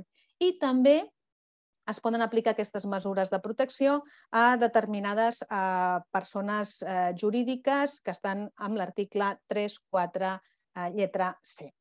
Uh, per tant, uh, recapitulo breument. Uh, penseu que estem protegint amb aquesta llei eh, no qualsevol denúncia, sinó determinades denúncies denúncies que venen eh, delimitades, denúncies protegides, vull dir, per un àmbit material d'aplicació, eh, infraccions del dret de la Unió com venen definides amb l'article 2 i eh, informació sobre, informa sobre infraccions penals o eh, infraccions administratives molt greus o greus i les persones protegides seran persones que hagin fet la comunicació o la revelació pública eh, perquè han obtingut aquesta informació en un context laboral, context laboral que està definit de manera força, força àmplia amb la llei i, a més a més de les persones protegides com a denunciants, les mesures de protecció eh, es poden estendre a altres persones que estiguin relacionades amb l'informant amb els, amb, els, amb els termes que la pròpia llei eh, determina. Ah, no sé si vols afegir res, Lourdes. No, Rosa, no? Ens, mira, eh, només eh, fem per una qüestió d'ordre de, de temps. Eh, tenim bastantes preguntes, però les contestarem molt telegràficament. Per tant, eh, mm, continua eh, sí? fins... Sí, mirem de deixar ni que siguin cinc minuts per contestar les preguntes. Algunes ja han estat respostes pel curs de la sessió, d'altres no i són molt interessants. Així que jo callo, vale. t'escolto, t'acabo d'escoltar i passem a les preguntes al final perquè em sembla que els hi hem de donar resposta. Tenim també alguna mà aixecada, però jo crec que això s'ha de reconduir no, no podrem resoldre, no podrem resoldre, oi? No, ho, re, ho resoldrem vale. via qüestions, eh, preguntes i respostes. Vale, doncs llavors suposo que si algú estava intentant accionar aquesta opció que dona el Zoom, no?, d'aixecar la mà, crec que s'ha no de, de plantejar, ho... no s'activa, no, no, sí. podem, no podem entrar-hi, no? no? Farem via preguntes i respostes. qüestions freqüents o qüestions sí. en, en no sé Q&A. Vale.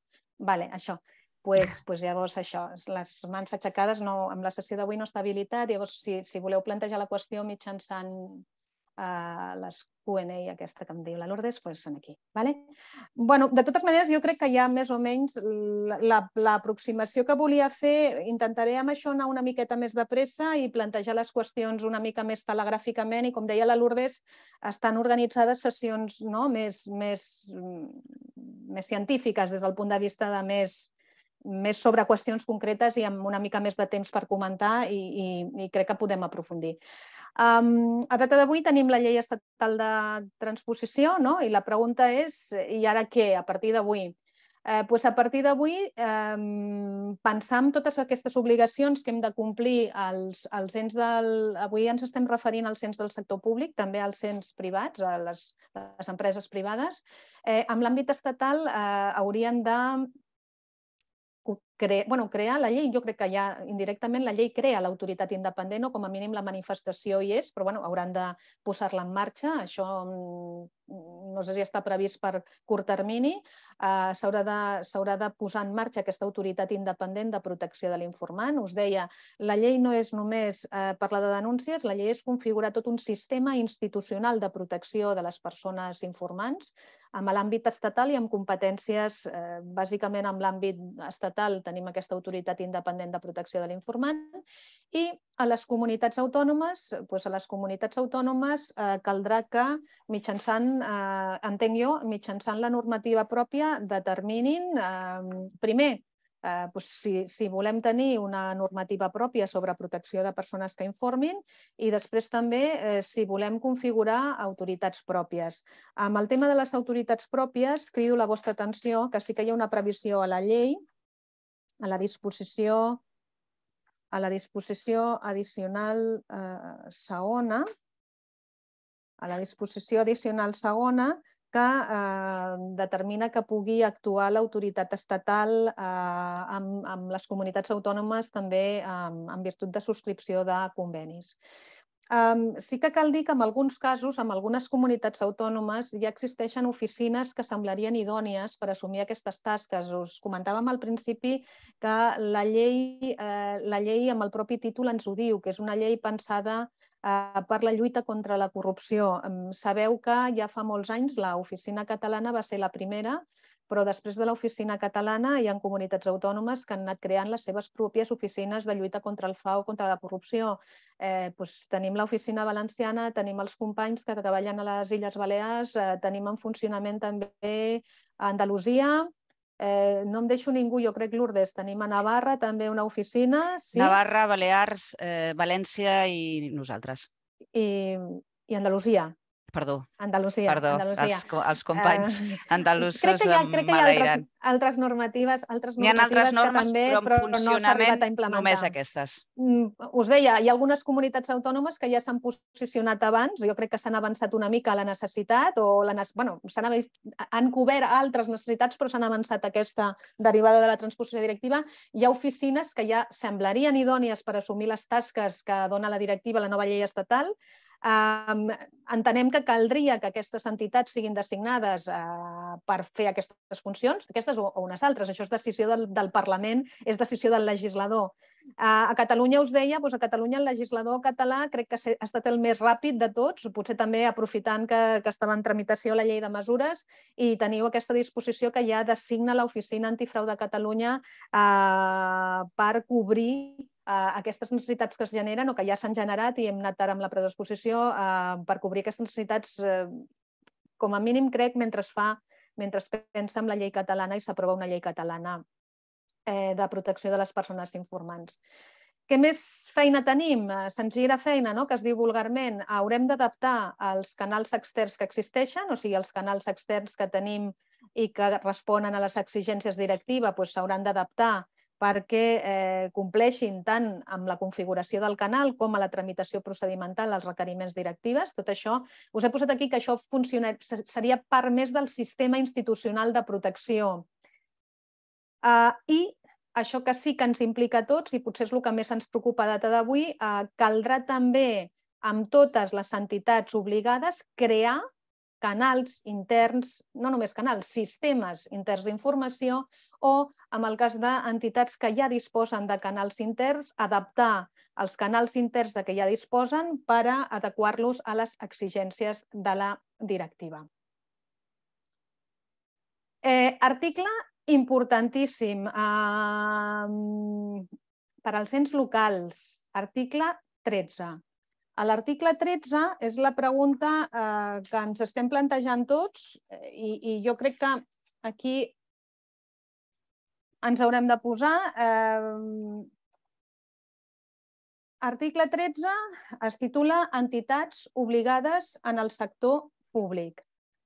Eh, del sector públic, qui estem obligats a disposar d'un sistema d'informació, d'un sistema intern d'informació. Aquesta resposta, trobarem la resposta per veure si nosaltres, la nostra entitat està obligada a l'article 13 de la llei estatal. Primera premissa. Eh, jo crec que, mm, crec que la filosofia de la llei estatal i de la directiva, sobretot, és que totes les entitats disposem d'un canal intern de denúncies. Això seria eh, la situació ideal, que disposem d'un canal intern de denúncia, perquè al fi i a la cap de lo que es tracta és de que l'entitat sigui la primera coneixedora de que està passant alguna cosa que no és correcta i pugui posar-hi remei i pugui accionar. Dit això, eh, la directiva i després la llei estatal sí que permeten que en determinats casos no hi hagi aquest canal intern propi, sinó que es puguin compartir sistemes d'informació. Tornem a l'article 13 i l'article 13 comença amb una afirmació eh, força genèrica Todas las entidades que integren el sector público estarán obligadas a disponer de un sistema interno de información en los términos previstos en esta ley. Todas, todas les entitats. A continuació, ens una definició de què s'entén comprès amb el sector públic. Eh, la primera lletra, eh, la Administración General del Estado, las administraciones de las comunidades autónomas, ciudades con estatuto de autonomía e entidades que integran la administración local ens fa una relació eh, força àmplia. Eh, teniu organismes i entitats públiques, autoritats administratives independents, universitats públiques, corporacions de dret públic, fundacions del sector públic.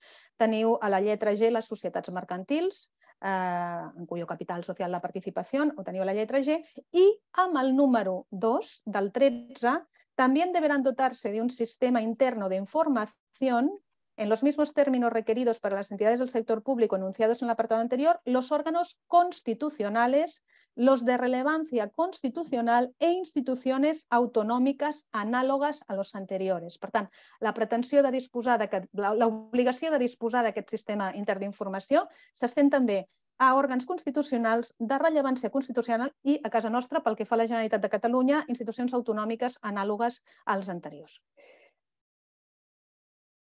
Pregunta, es pot compartir? Es pot compartir article 14, mitjans compartits amb el sector públic. Uh, és un article, al meu judici, tècnicament no massa uh, blindat, que pot donar lloc a confusió amb la interpretació i jo crec, jo crec que és una opinió personal, però crec que l'article 14.3, uh, que, que, que ens sobta moltíssim, eh, jo crec que deriva d'una transposició incorrecta del que diu la directiva. És una opinió personal. En tot cas, eh, medios compartidos en el sector público. Podem compartir poden compartir los municipios de menos de 10.000 habitantes. I en aquest cas, la previsió de la llei estatal és amplíssima. Pueden compartir entre sí o con cualesquiera otras administracions públiques que se ubiquen dentro del territorio de la comunitat autònoma. I què poden compartir? Estic llegint l'article 14.1.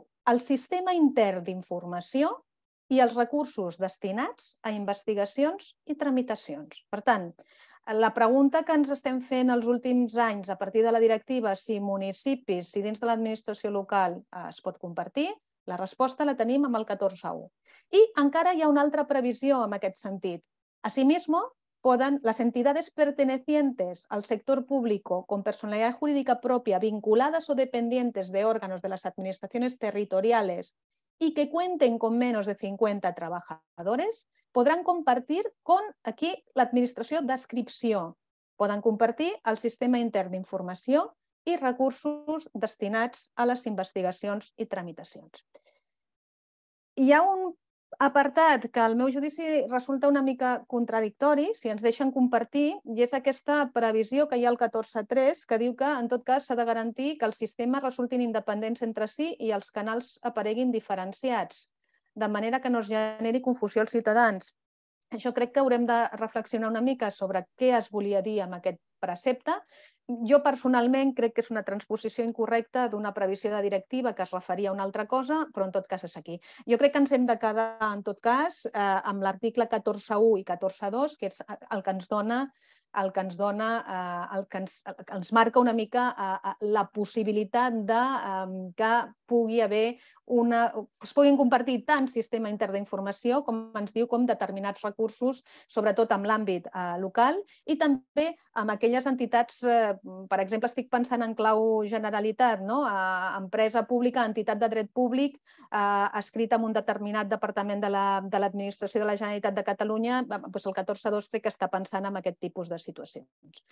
I una altra pregunta, mm, avui no tinc respostes, eh, jo crec que això és una cosa que s'ha d'acabar no? de, de, de de, de pensar i d'interpretar, es pot externalitzar els canals interns, que és el que s'estava preguntant, no? eh, fa també es podria arribar a externalitzar d'acord amb la normativa, eh, d'acord amb la normativa, específicament l'article 15, però també altres previsions de la normativa estatal, semblaria, semblaria que l'únic que es pot externalitzar seria la rebuda de les informacions. Semblaria eh, de la normativa que el que no es pot externalitzar és tot el canal. O sigui, únicament l'externalització quedaria limitada a, a la rebuda de les informacions i amb caràcter exclusivament instrumental a la tramitació posterior que hem de donar. Crido la vostra atenció també eh, sobre un tema que em sembla important i és que eh, aquí, eh, amb, amb, aquests, amb aquests canals interns, estarem tractant dades personals i dades personals eh, eh, sensibles amb la qual cosa tot el tractament d'aquestes dades, amb la llei estatal, amb la directiva, hi ha previsions molt estrictes també sobre eh, com han de ser els tractaments de dades. Eh, tindrem una activitat de tractament associada al canal, haurem de complir les previsions de la normativa i en el cas que tinguéssim una externalització, doncs també haurem de tenir en compte les previsions de la normativa de protecció de dades sobre, eh, doncs sobre un contracte d'encarregat amb el contractista, en matèria de dades personals. O sigui que amb el tema d'externalització eh, queda molt restringit. Eh, repasseu l'article 15, que, que ho limita amb, amb aquest punt. Diu la llei Esta gestión comprenderá únicamente el procedimiento para la recepción de las informaciones sobre infracciones y en todo caso tendrà caràcter exclusivament instrumental i sobretot, punt importantíssim, punt importantíssim, eh, el tema de eh, complir la normativa cada cop més estricta amb el tema de, tracta, de tractament de, de protecció i de tractament de, de dades personals. Tenim altres obligacions eh, i és que eh, tota aquesta implementació de canals, tant l'intern com l'extern, ve lligat a, a unes determinades obligacions d'informació bastant estrictes que hem de, hem de donar eh, sobre l'ús del canal, sobre els principis. Eh, em remeto bàsicament a l'article 25, eh, que és el que em parla de les publicitats, eh, de la publicitat, de les informacions que hem de donar sobre el canal. I també eh, tenim una obligació a l'article 26 de tenir un registre de les informacions. Ens diu l'article 26 que els subjectes obligats a disposar d'un canal intern eh, han de comptar amb un llibre registre de les informacions rebudes i de les investigacions que hagin eh, donat lloc. O sigui, eh, obligació principal, segurament, el que més ens preocupa en aquest moment és disposar d'aquest canal intern de denúncies adaptat a directiva, però si anem llegint la llei mica en mica trobarem algunes altres obligacions eh, importants eh, sobre que, que ens obliga, que, que haurem de complir amb els propers mesos per implementar, per complir amb les obligacions de directiva i de llei estatal. Eh, no insisteixo massa en aquest tema, eh, però eh, el que comentàvem abans, la llei no només implica uns canals interns de denúncia, sinó que també pensa en tot un sistema institucional nou per protegir aquestes persones alertadores. Eh, parla de canals externs de comunicació, el que us comentava, eh, tenim una autoritat estatal eh, pendent de creació i les comunitats autònomes també hauran de pensar cadascuna d'elles quin sistema institucional de protecció dels informants volen configurar. Algunes comunitats autònomes ja disposen d'algunes estructures que semblarien idònies. Caldria decidir si volen designar aquestes autoritats ja existents i ja en funcions o volen disposar d'autoritats diferents per desenvolupar aquestes funcions.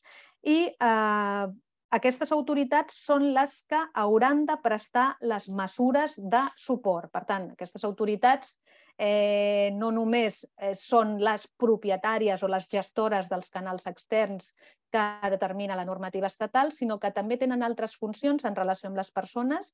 La més rellevant és que seran les que hauran de prestar aquestes de, mesures de suport. I també ho anunciava la Lourdes al principi, la llei també crea eh, tipifica infraccions relacionades amb els béns jurídics protegits per aquesta llei de protecció de persones que informin.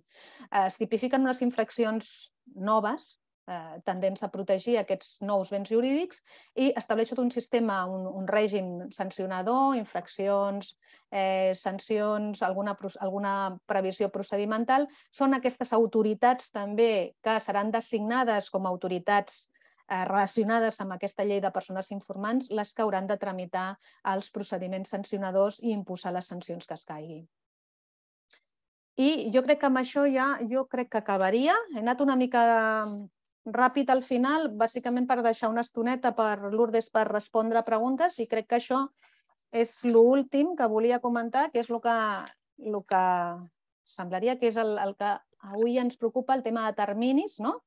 Uh, llavors, tema de terminis, eh, doncs, què hem de fer tots? Pues tots hauríem de començar a pensar a, en relació amb el compliment d'aquestes obligacions que tenim en virtut de la llei estatal o crear els nostres sistemes interns d'informació eh, i crear canals interns d'informació o eh, crear-los o adaptar-los. O sigui, l'opció que tenim, els que ja tinguem o, o els que ja n'hi hagi creats canals que responguin a les finalitats de la llei, doncs simplement adaptar-los al que, al que, a les exigències de tramitació, a les característiques, confidencialitat, persones que poden accedir establertes per la llei, eh, adaptar o crear. Termini, disposició transitòria segona, plazo máximo para el establecimiento de sistemas internos de información y adaptación de los ya existentes. Las administraciones, organismos, empresas y demás entidades obligadas a contar con un sistema interno de información deberán implantarlo, parla de implantació, en el plazo máximo de tres meses a partir de la entrada en vigor de esta ley. La ley entra en vigor hoy, eh, doncs tenim tres mesos per complir l'obligació que se'ns estableix. Excepcions. Com a excepció, En el caso de las entidades jurídicas del sector privado con 249 trabajadores o menos y los municipios de menos de 10.000 habitantes, menos de 10.000 habitantes, el plazo se extenderá hasta el 1 de diciembre de 2023. Per tant, um, aquesta potser és, és, és, és la circumstància que més se'n sorgeix eh? i teniu la disposició transitòria segona que ens determina els terminis. Hi ha alguna previsió més sobre compliment d'obligacions en terminis, però eh, jo crec que potser la més important, eh, dèiem al principi de l'exposició que la normativa, amb el centre de la normativa, el que ja són les persones, eh, la disposició addicional sisena ens parla de mesures de protecció. Les mesures de protecció recollides a la llei s'estenen a les comunicacions sobre accions o omissions recollides a l'article 2 que haguessin tingut lloc des de l'entrada en vigor de la directiva. Per tant, pel que fa a la protecció de les persones, el legislador estatal, suposo que conscient de l'incompliment del termini de transposició, ha determinat de manera relativament clara, crec jo, crec que això eh, crec que és una disposició eh, molt contundent, que les mesures de protecció s'apliquen a comunicacions fetes des de l'entrada en vigor de la directiva. I fixem-nos, jo no sé si és el que volien dir o no volien dir exactament això, però és el que han dit, no diuen des de la finalització del termini de transposició de la directiva. Diuen des de l'entrada en vigor de la directiva. Per tant, si la directiva va entrar en vigor els 20 dies de la publicació, el 17 de desembre del 2009, 2019, les mesures de protecció que recull la llei s'aplicarien a tota comunicació protegida per la llei des de finals de l'any 2019. I jo crec que ja estic, Lourdes. Eh, sí. Comentaris finals te'ls deixo. Rosa, gràcies, perquè eh, farem un tancament, no vull ser massa abstracte, mm, però abans de donar eh, pas a les preguntes, que n'hi ha moltes, eh, sí voldria fer una reflexió no especialment abstracta, però crec que és necessària. Sovint diem que és més fàcil que canviar, canviar lleis que canviar mentalitats. Aquesta llei ja la tenim, amb tots els seus eh, defectes. Serà difícil d'interpretar, Rosa, ens ho has explicat molt bé i ens hem fet bastant càrrec de les dificultats que tindrem i serà difícil d'implantar. També ho veiem i moltes de les preguntes van en aquest sentit, ara les eh, respondrem. Però crec que és necessari eh, entendre que per canviar mentalitats, per canviar la cultura d'una organització, no només s'ha de treballar a partir del que una llei ens marca, a partir de la necessitat d'implantar un sistema d'integritat institucional, un sistema, perdó, un sistema de, eh, intern d'informació que comporti canals de denúncia, procediments per fer-lo servir, eh, canvis organitzatius per donar resposta a qui ha de gestionar això i com ho ha de fer perquè complim els eh, manaments eh, de la llei.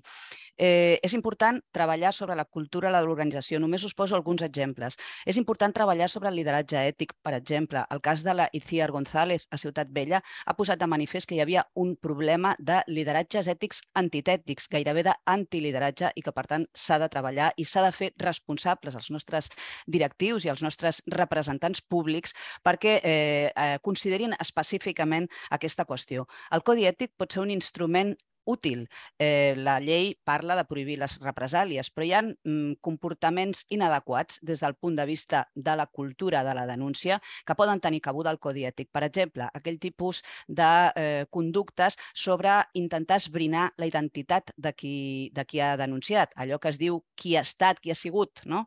Eh, això desincentiva moltíssim els alertadors potencials i és una cosa que no necessitem cap llei per fer. El codi ètic ho pot fer i pot marcar una conducta producte i, per tant, irradiar a tota l'organització amb missatges molt clars de que les represàlies en aquella institució, en aquella organització, no es consideren apropiades, no es consideren tolerables. Altres coses, la informació sobre el canal és molt important. Podem dissenyar un canal fantàstic amb solucions tecnològics d'anonimització estupendes, però si la gent no té clar on ha d'anar, no li és fàcil, no li és accessible, no li és usable, no està ben vist fer-lo servir, aleshores no hi anirà. Per tant, la informació i la, eh, la, el foment d'aquest eh, tipus de denúncia, l'ús dels eh, canals, el compartir tota aquesta cultura és important.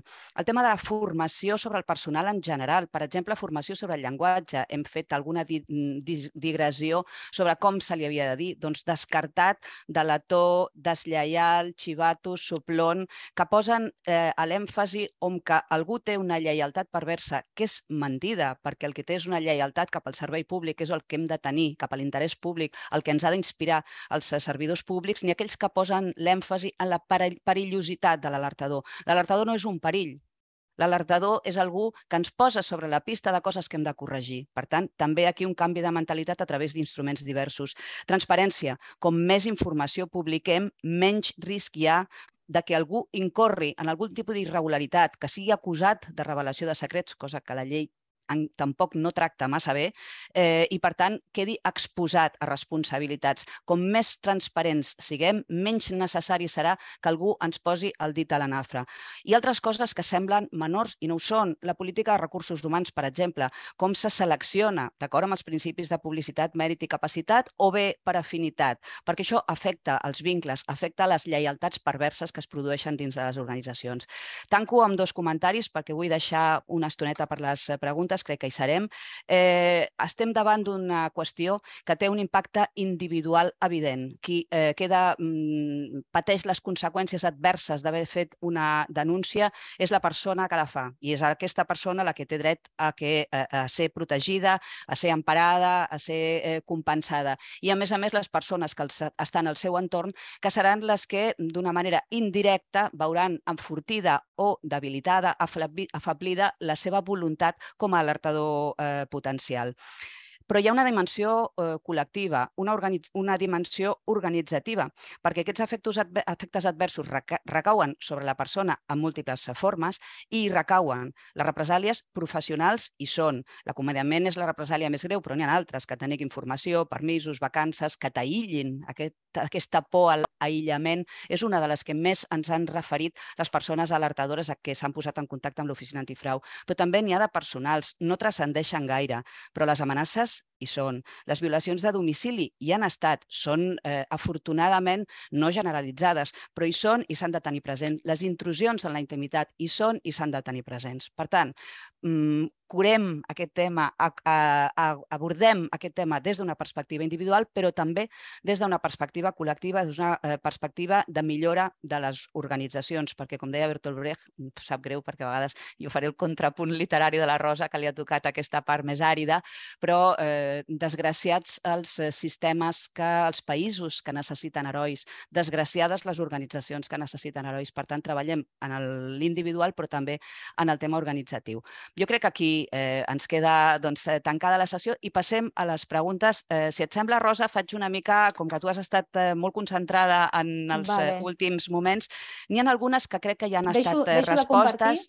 Sí, Lourdes, Rosa, pots, de compartir? Sí, pots deixar... Jo crec que sí, perquè vale, doncs ja així ja ens hem saltat l'última diapositiva de gràcies, això ja queda... Anem de cara a barraca, Agraï... agraïdes mm. estem, però anem a lo que ens agrairem més, que és que responguem el que ens heu preguntat.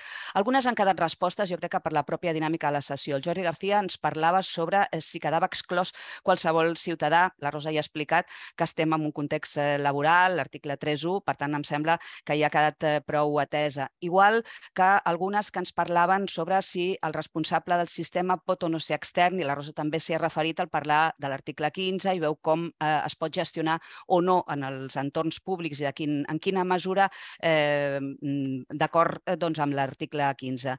N'hi ha hagut un parell eh, que tenien a veure, i aquestes, doncs, eh, si m'ho permets, Rosa, les responc jo abans de passar-te en un tou eh, que crec que van molt per tu.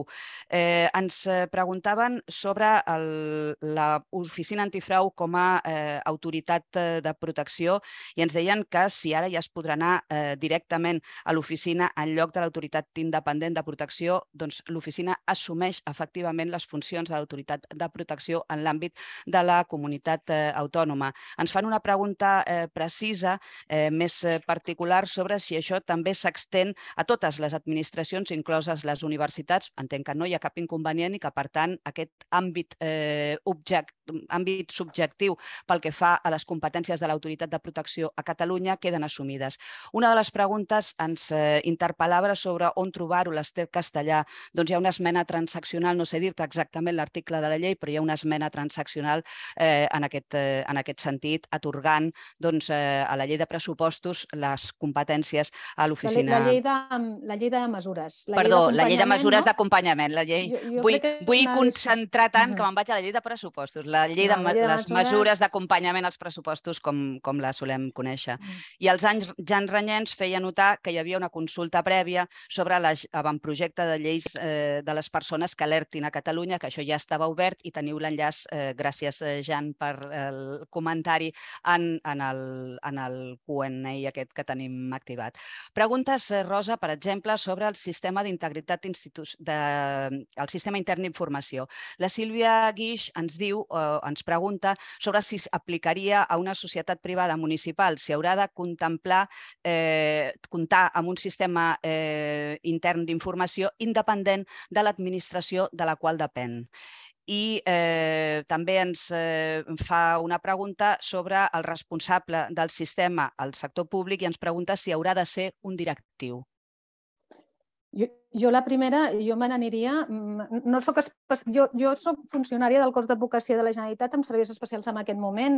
A l'oficina soc advocada de la Generalitat, per tant, el que, el que conec més és l'estructura de l'administració de la Generalitat de Catalunya. Em, em disculpareu si no sóc especialista en, en dret local i en estructura de l'administració local, però suposo que en aquest cas, Sílvia, si no em corregeixes o ens ho preguntes amb més calma i ho mirem, però, però crec que aniríem al 14.2 de la llei Uh, em parles de... Entenc que és una entitat... Uh, Societat privada municipal, diu, amb més de 50 treballadors. Yo diría aquí, asimismo, las entidades pertenecientes al sector público con personalidad jurídica propia vinculadas o dependientes de órganos de las administraciones territoriales y que cuenten con menos de 50 podrán compartir. Son más de 50. Son más de 50. Si son más de 50, en principi no poden compartir. Doncs eh, resposta donada, Rosa. Eh, el que ens és preguntava... precipitat, no, no m'ho havia pensat. Eh? Vull dir, ho podríem tornar a mirar, eh, però jo entenc que és... Entendria que és entitat obligada del sector públic d'acord amb l'article 13G, eh, societats mercantils amb el capital social de les quals la participació d'entitats de les lletres anteriors sigui superior al 50%, pam, pam, pam. Entenc que si és entitat del sector públic obligada, si té més de 50 treballadors, eh, si té més de 50 no entraríem amb el 14 amb el 14.2, crec. No, no, no, no, no, no, no em ve al cap cap altre article que, que pugui... Ho podem mirar amb més calma, eh? no m'ho havia pensat i, i és una resposta precipitada només mirant la llei ràpid. Ho, ho podem tornar a mirar si hi ha alguna previsió més amb la llei, però no, no, no ho tinc al cap. Moltes gràcies, Rosa. En qualsevol cas, eh, quedem a la vostra disposició per si no podem respondre a totes les preguntes o totes no les podem atendre amb, amb aquesta reflexió que diu la Rosa, sinó amb aquesta immediatesa, doncs eh, si hi ha alguna cosa més, cap problema per eh, contactar i que ens eh, mirem eh, quasi, gairebé plegats eh, la llei per interpretar-la i entendre perquè és complexa i unes coses connecten amb les altres. Més coses, eh, Rosa. Algunes eh, en preguntes eh, tenien a veure amb implantar, eh, o sigui, amb adaptar canals. Eh, tu ja has dit que els eh, canals externs els haurem d'adaptar, en això estem, però els eh, canals interns, els que ja disposaven de canal, també requeriran certa adaptació. Hi havia un parell de preguntes coincidents que ens deien eh, com s'hauria de fer amb aquells eh, canals eh, que ja estan vigents interns i que no s'ha fet doncs, la consulta als representants legals dels eh, treballadors. Aleshores ens feien aquesta pregunta concreta. Com articulem aquesta consulta?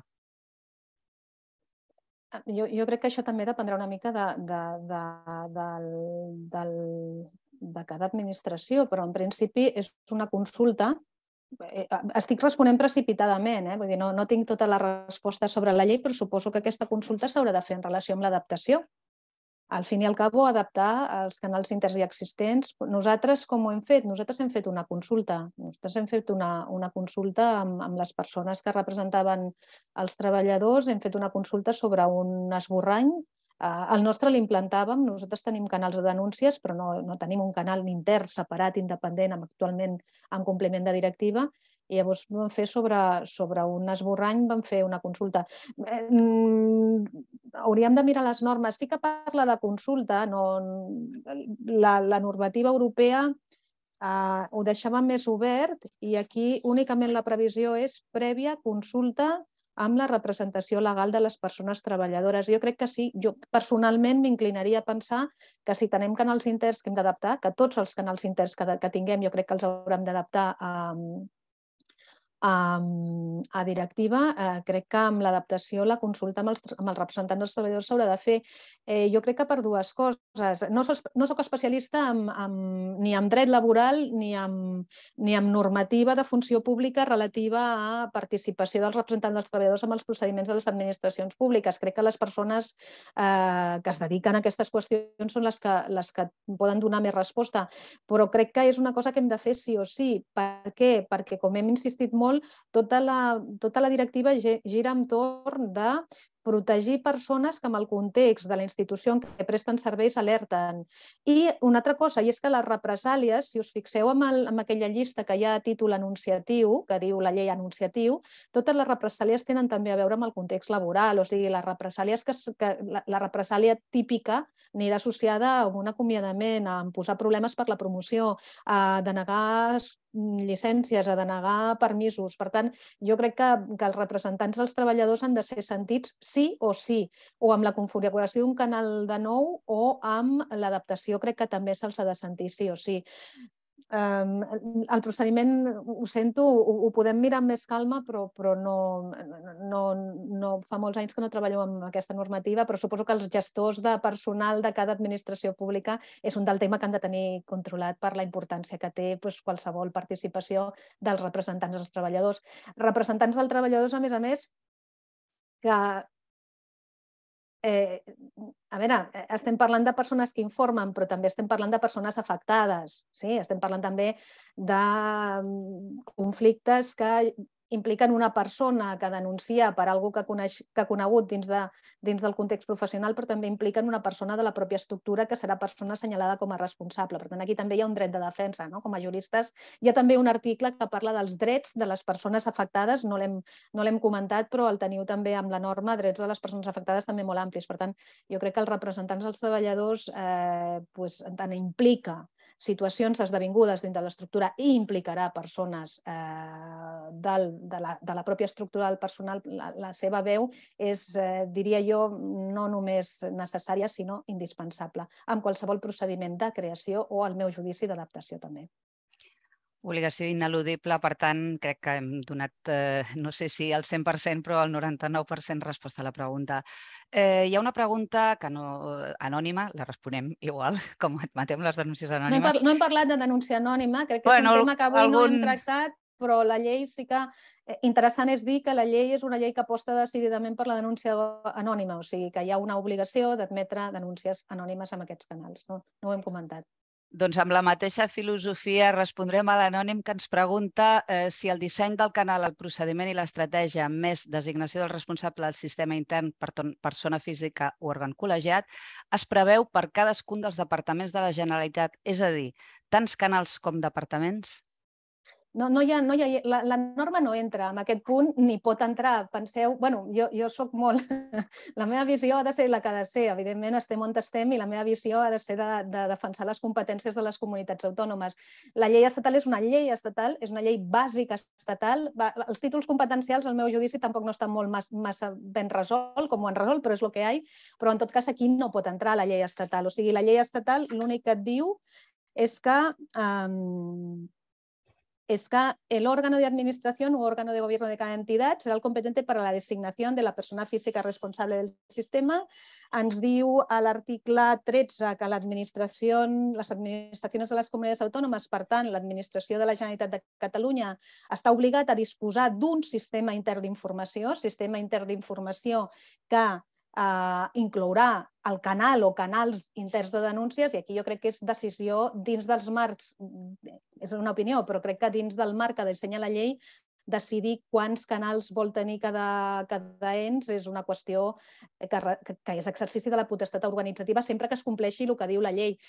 Intuïtivament, eh, nosaltres com a oficina antifrau som uns 50 treballadors, una mica més, poder, no ho sé, eh, estem aquí més o menys, doncs tindrem un canal eh, jo entenc que amb una estructura més complexa, d'una administració territorial complexa, eh, entenc que un únic canal mm, intuïtivament no em quadra, però la decisió li correspon a l'administració de la Generalitat de Catalunya dins dels paràmetres de, de, de la llei. Eh, i, I de la futura llei catalana, no oblidem que això és una llei bàsica estatal, però tindrem una llei catalana, que també jo crec que la llei catalana és l'oportunitat per acabar de eh, perfilar alguna cosa que crec que amb la llei estatal, mm, al meu judici, no està clara. Però això és, una, és, és potestat autoorganitzativa i l'administració de la Generalitat haurà de, haurà de veure doncs, aquest sistema intern d'informació, com determina la responsabilitat del sistema i, i quants canals pot tenir. Jo, intuïtivament, doncs, fins i tot diria, intuïtivament, però és una opinió personal sense fonament científic.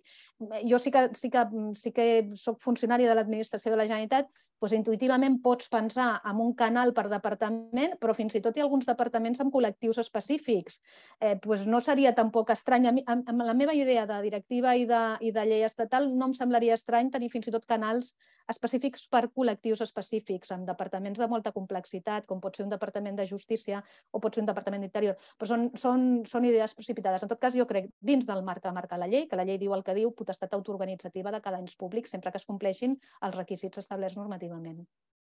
Hi ha alguna pregunta més, eh, Rosa? Una, una, alguna molt poc menys eh, sobre l'autoritat eh, en els termes de l'article 8.3, eh, preguntant-nos, eh, demanant-nos si l'oficina actuarà a Catalunya com a autoritat i específicament si els ajuntaments catalans podran comunicar directament a l'oficina en lloc de l'AIP. Aquesta crec que l'hem eh, contestat i en principi, si no em dius el contrari, la resposta és que sí.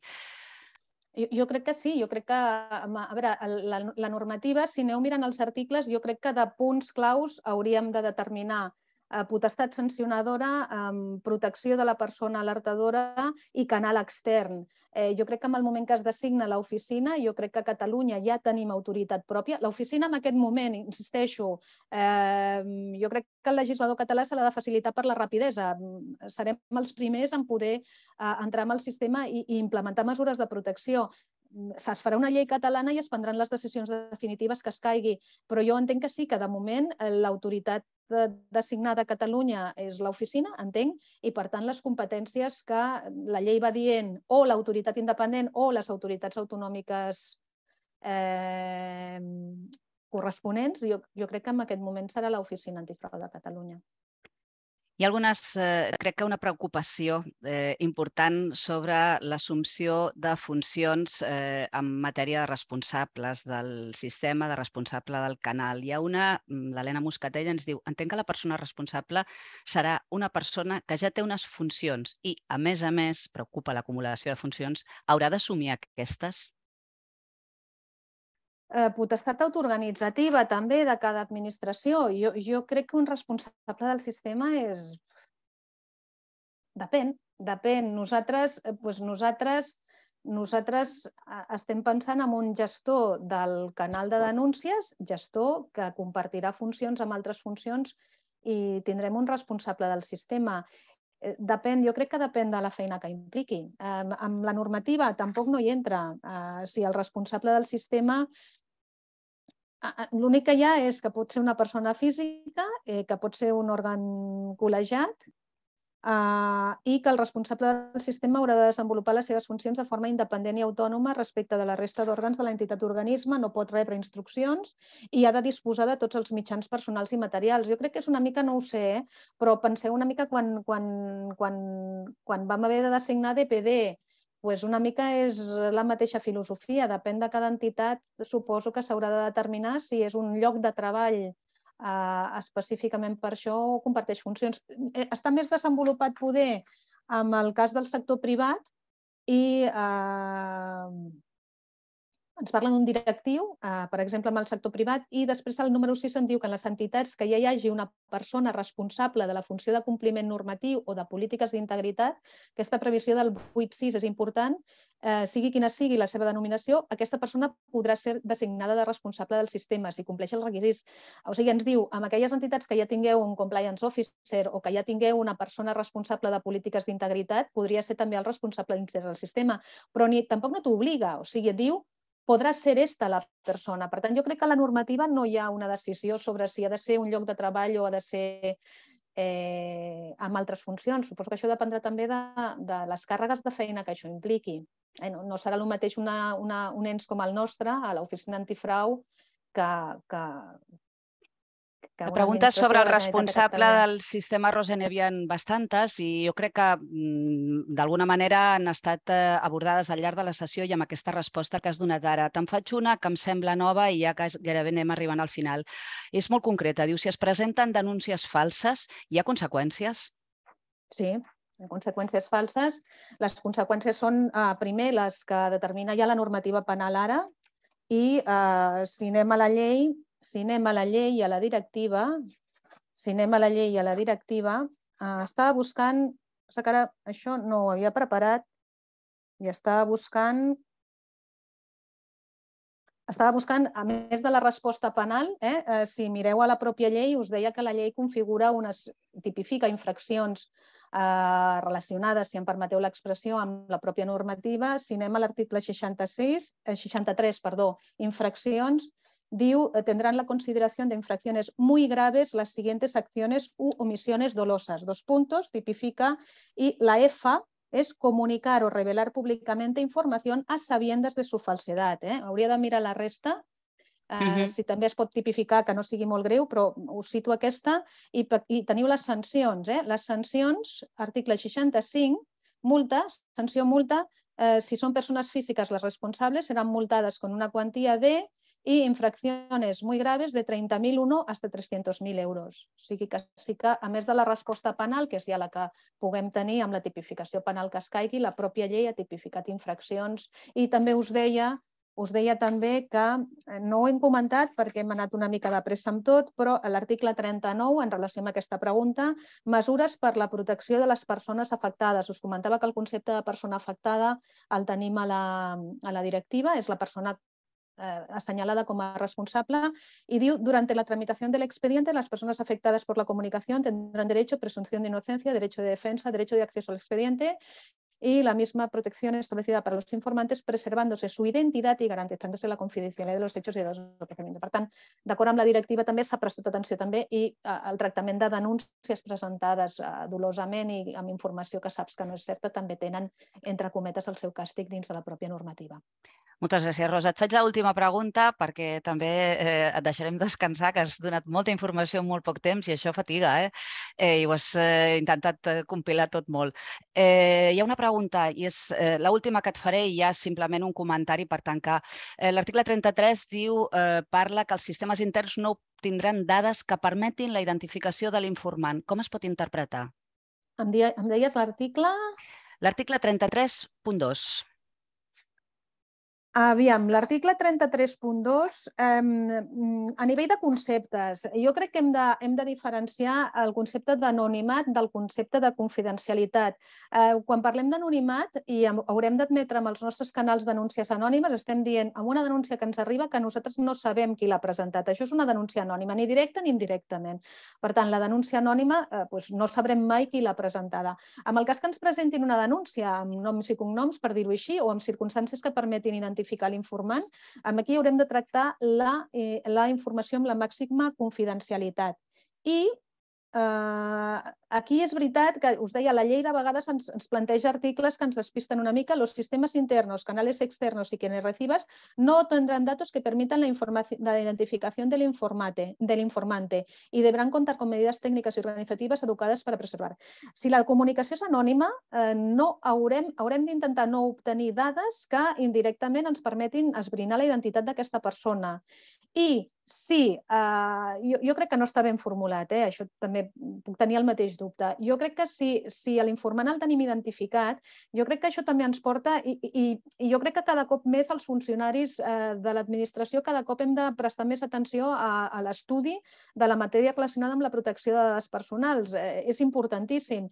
Llavors, aquí, jo crec que aquí ens porta també amb un principi que ja està definit amb la normativa de protecció de dades, que és el principi de, no sóc especialista en el tema, igual algú em pot corregir, però minimització proporció i proporcionalitat. De vegades, quan investiguem, eh, demanem una multiplicitat d'informacions que no són necessàries. Pues en aquest cas, jo crec que ens està recordant la normativa de protecció de dades, que hi ha algun article més amb el mateix sentit, que no demanem informació que no necessitem i que no demanem informació que eh, sobretot que no necessitem i que pugui donar dades que permetin la, la identificació de, de l'informant. En el cas que sigui anònim, intentem no no buscar indirectament saber quina identitat és, sobretot en organitzacions petites doncs pot haver moltes pistes que ens portin a la identitat i en el cas de que sabem la identitat de l'informant intentem no posar aquesta identitat en perill en, en cap mesura. Sí que és cert que el, que el precepte tècnicament crec que, no, que no, la redacció no és, no, és, no és la millor del món.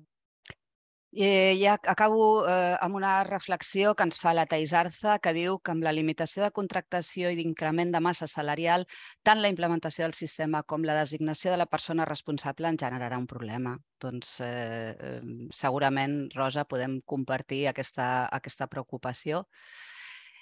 I eh, hi ha una altra, una altra pregunta eh, que és una resposta molt genèrica. Teniu previst fer polítiques i procediments estàndards que puguem utilitzar les entitats del sector públic de la Generalitat de Catalunya i ens eh, comparteix o el neguit de la complicació per les entitats petites per implementar tot això amb els recursos que tenim. Ja és un comentari amb el que tenim absoluta empatia i simpatia. És així, la llei no està pensada pels micromunicipis, no està pensada per les micropimes, està pensada per altres entorns molt més eh, grossos. Per tant, hi haurà eh, guiatges eh, a partir de polítiques i de procediments, si estàndards, com, com diu l'Helena Moscatell, s'està fent des de la Diputació, les diputacions estan elaborant eh, models, entre cometes, de normes, de procediments, també les associacions municipalistes hi estat treballant i des de l'Oficina Antifrau també treballem en aquesta línia. Hem de dir, però, i ho dic ja com a reflexió final, que eh, comentar, interpretar, eh, donar suport, eh, eh, aclarir a què s'està referint quan es parla de política, de procediment, de política estàndard, estratègia, etc. Ho farem de molt bon grat, però alerta de vegades amb aquests estàndards o aquests models que no guarden relació amb les pròpies entitats i que moltes vegades ens fan fer compliments formals als que sabeu, eh, dels quals des de l'Oficina Antifrau recelem. Per tant, intentarem facilitar la vida tant com puguem, però alhora també hi ha certa reflexió accions i certs, eh, certes elaboracions i decisions que s'hauran de prendre internament. Eh, no sé, Rosa, si vols afegir, estem ja, estem ja, com diuen els dels esports, en temps de descompte, per tant... En temps de descompte, eh... jo, jo crec que no abusarem més de la paciència de, de les persones que ens han sentit, perquè el tema, el tema és, és, és, és, és difícil, la, la llei no és fàcil, la llei no ens facilita la vida amb algun article com el que comentàvem que dona missatges potser contradictoris i simplement tornar a agrair eh, l'interès pel tema i donar gràcies a l'escola un altre cop per la clarividència amb el mateix dia que, eh, no, que entra en vigor la llei.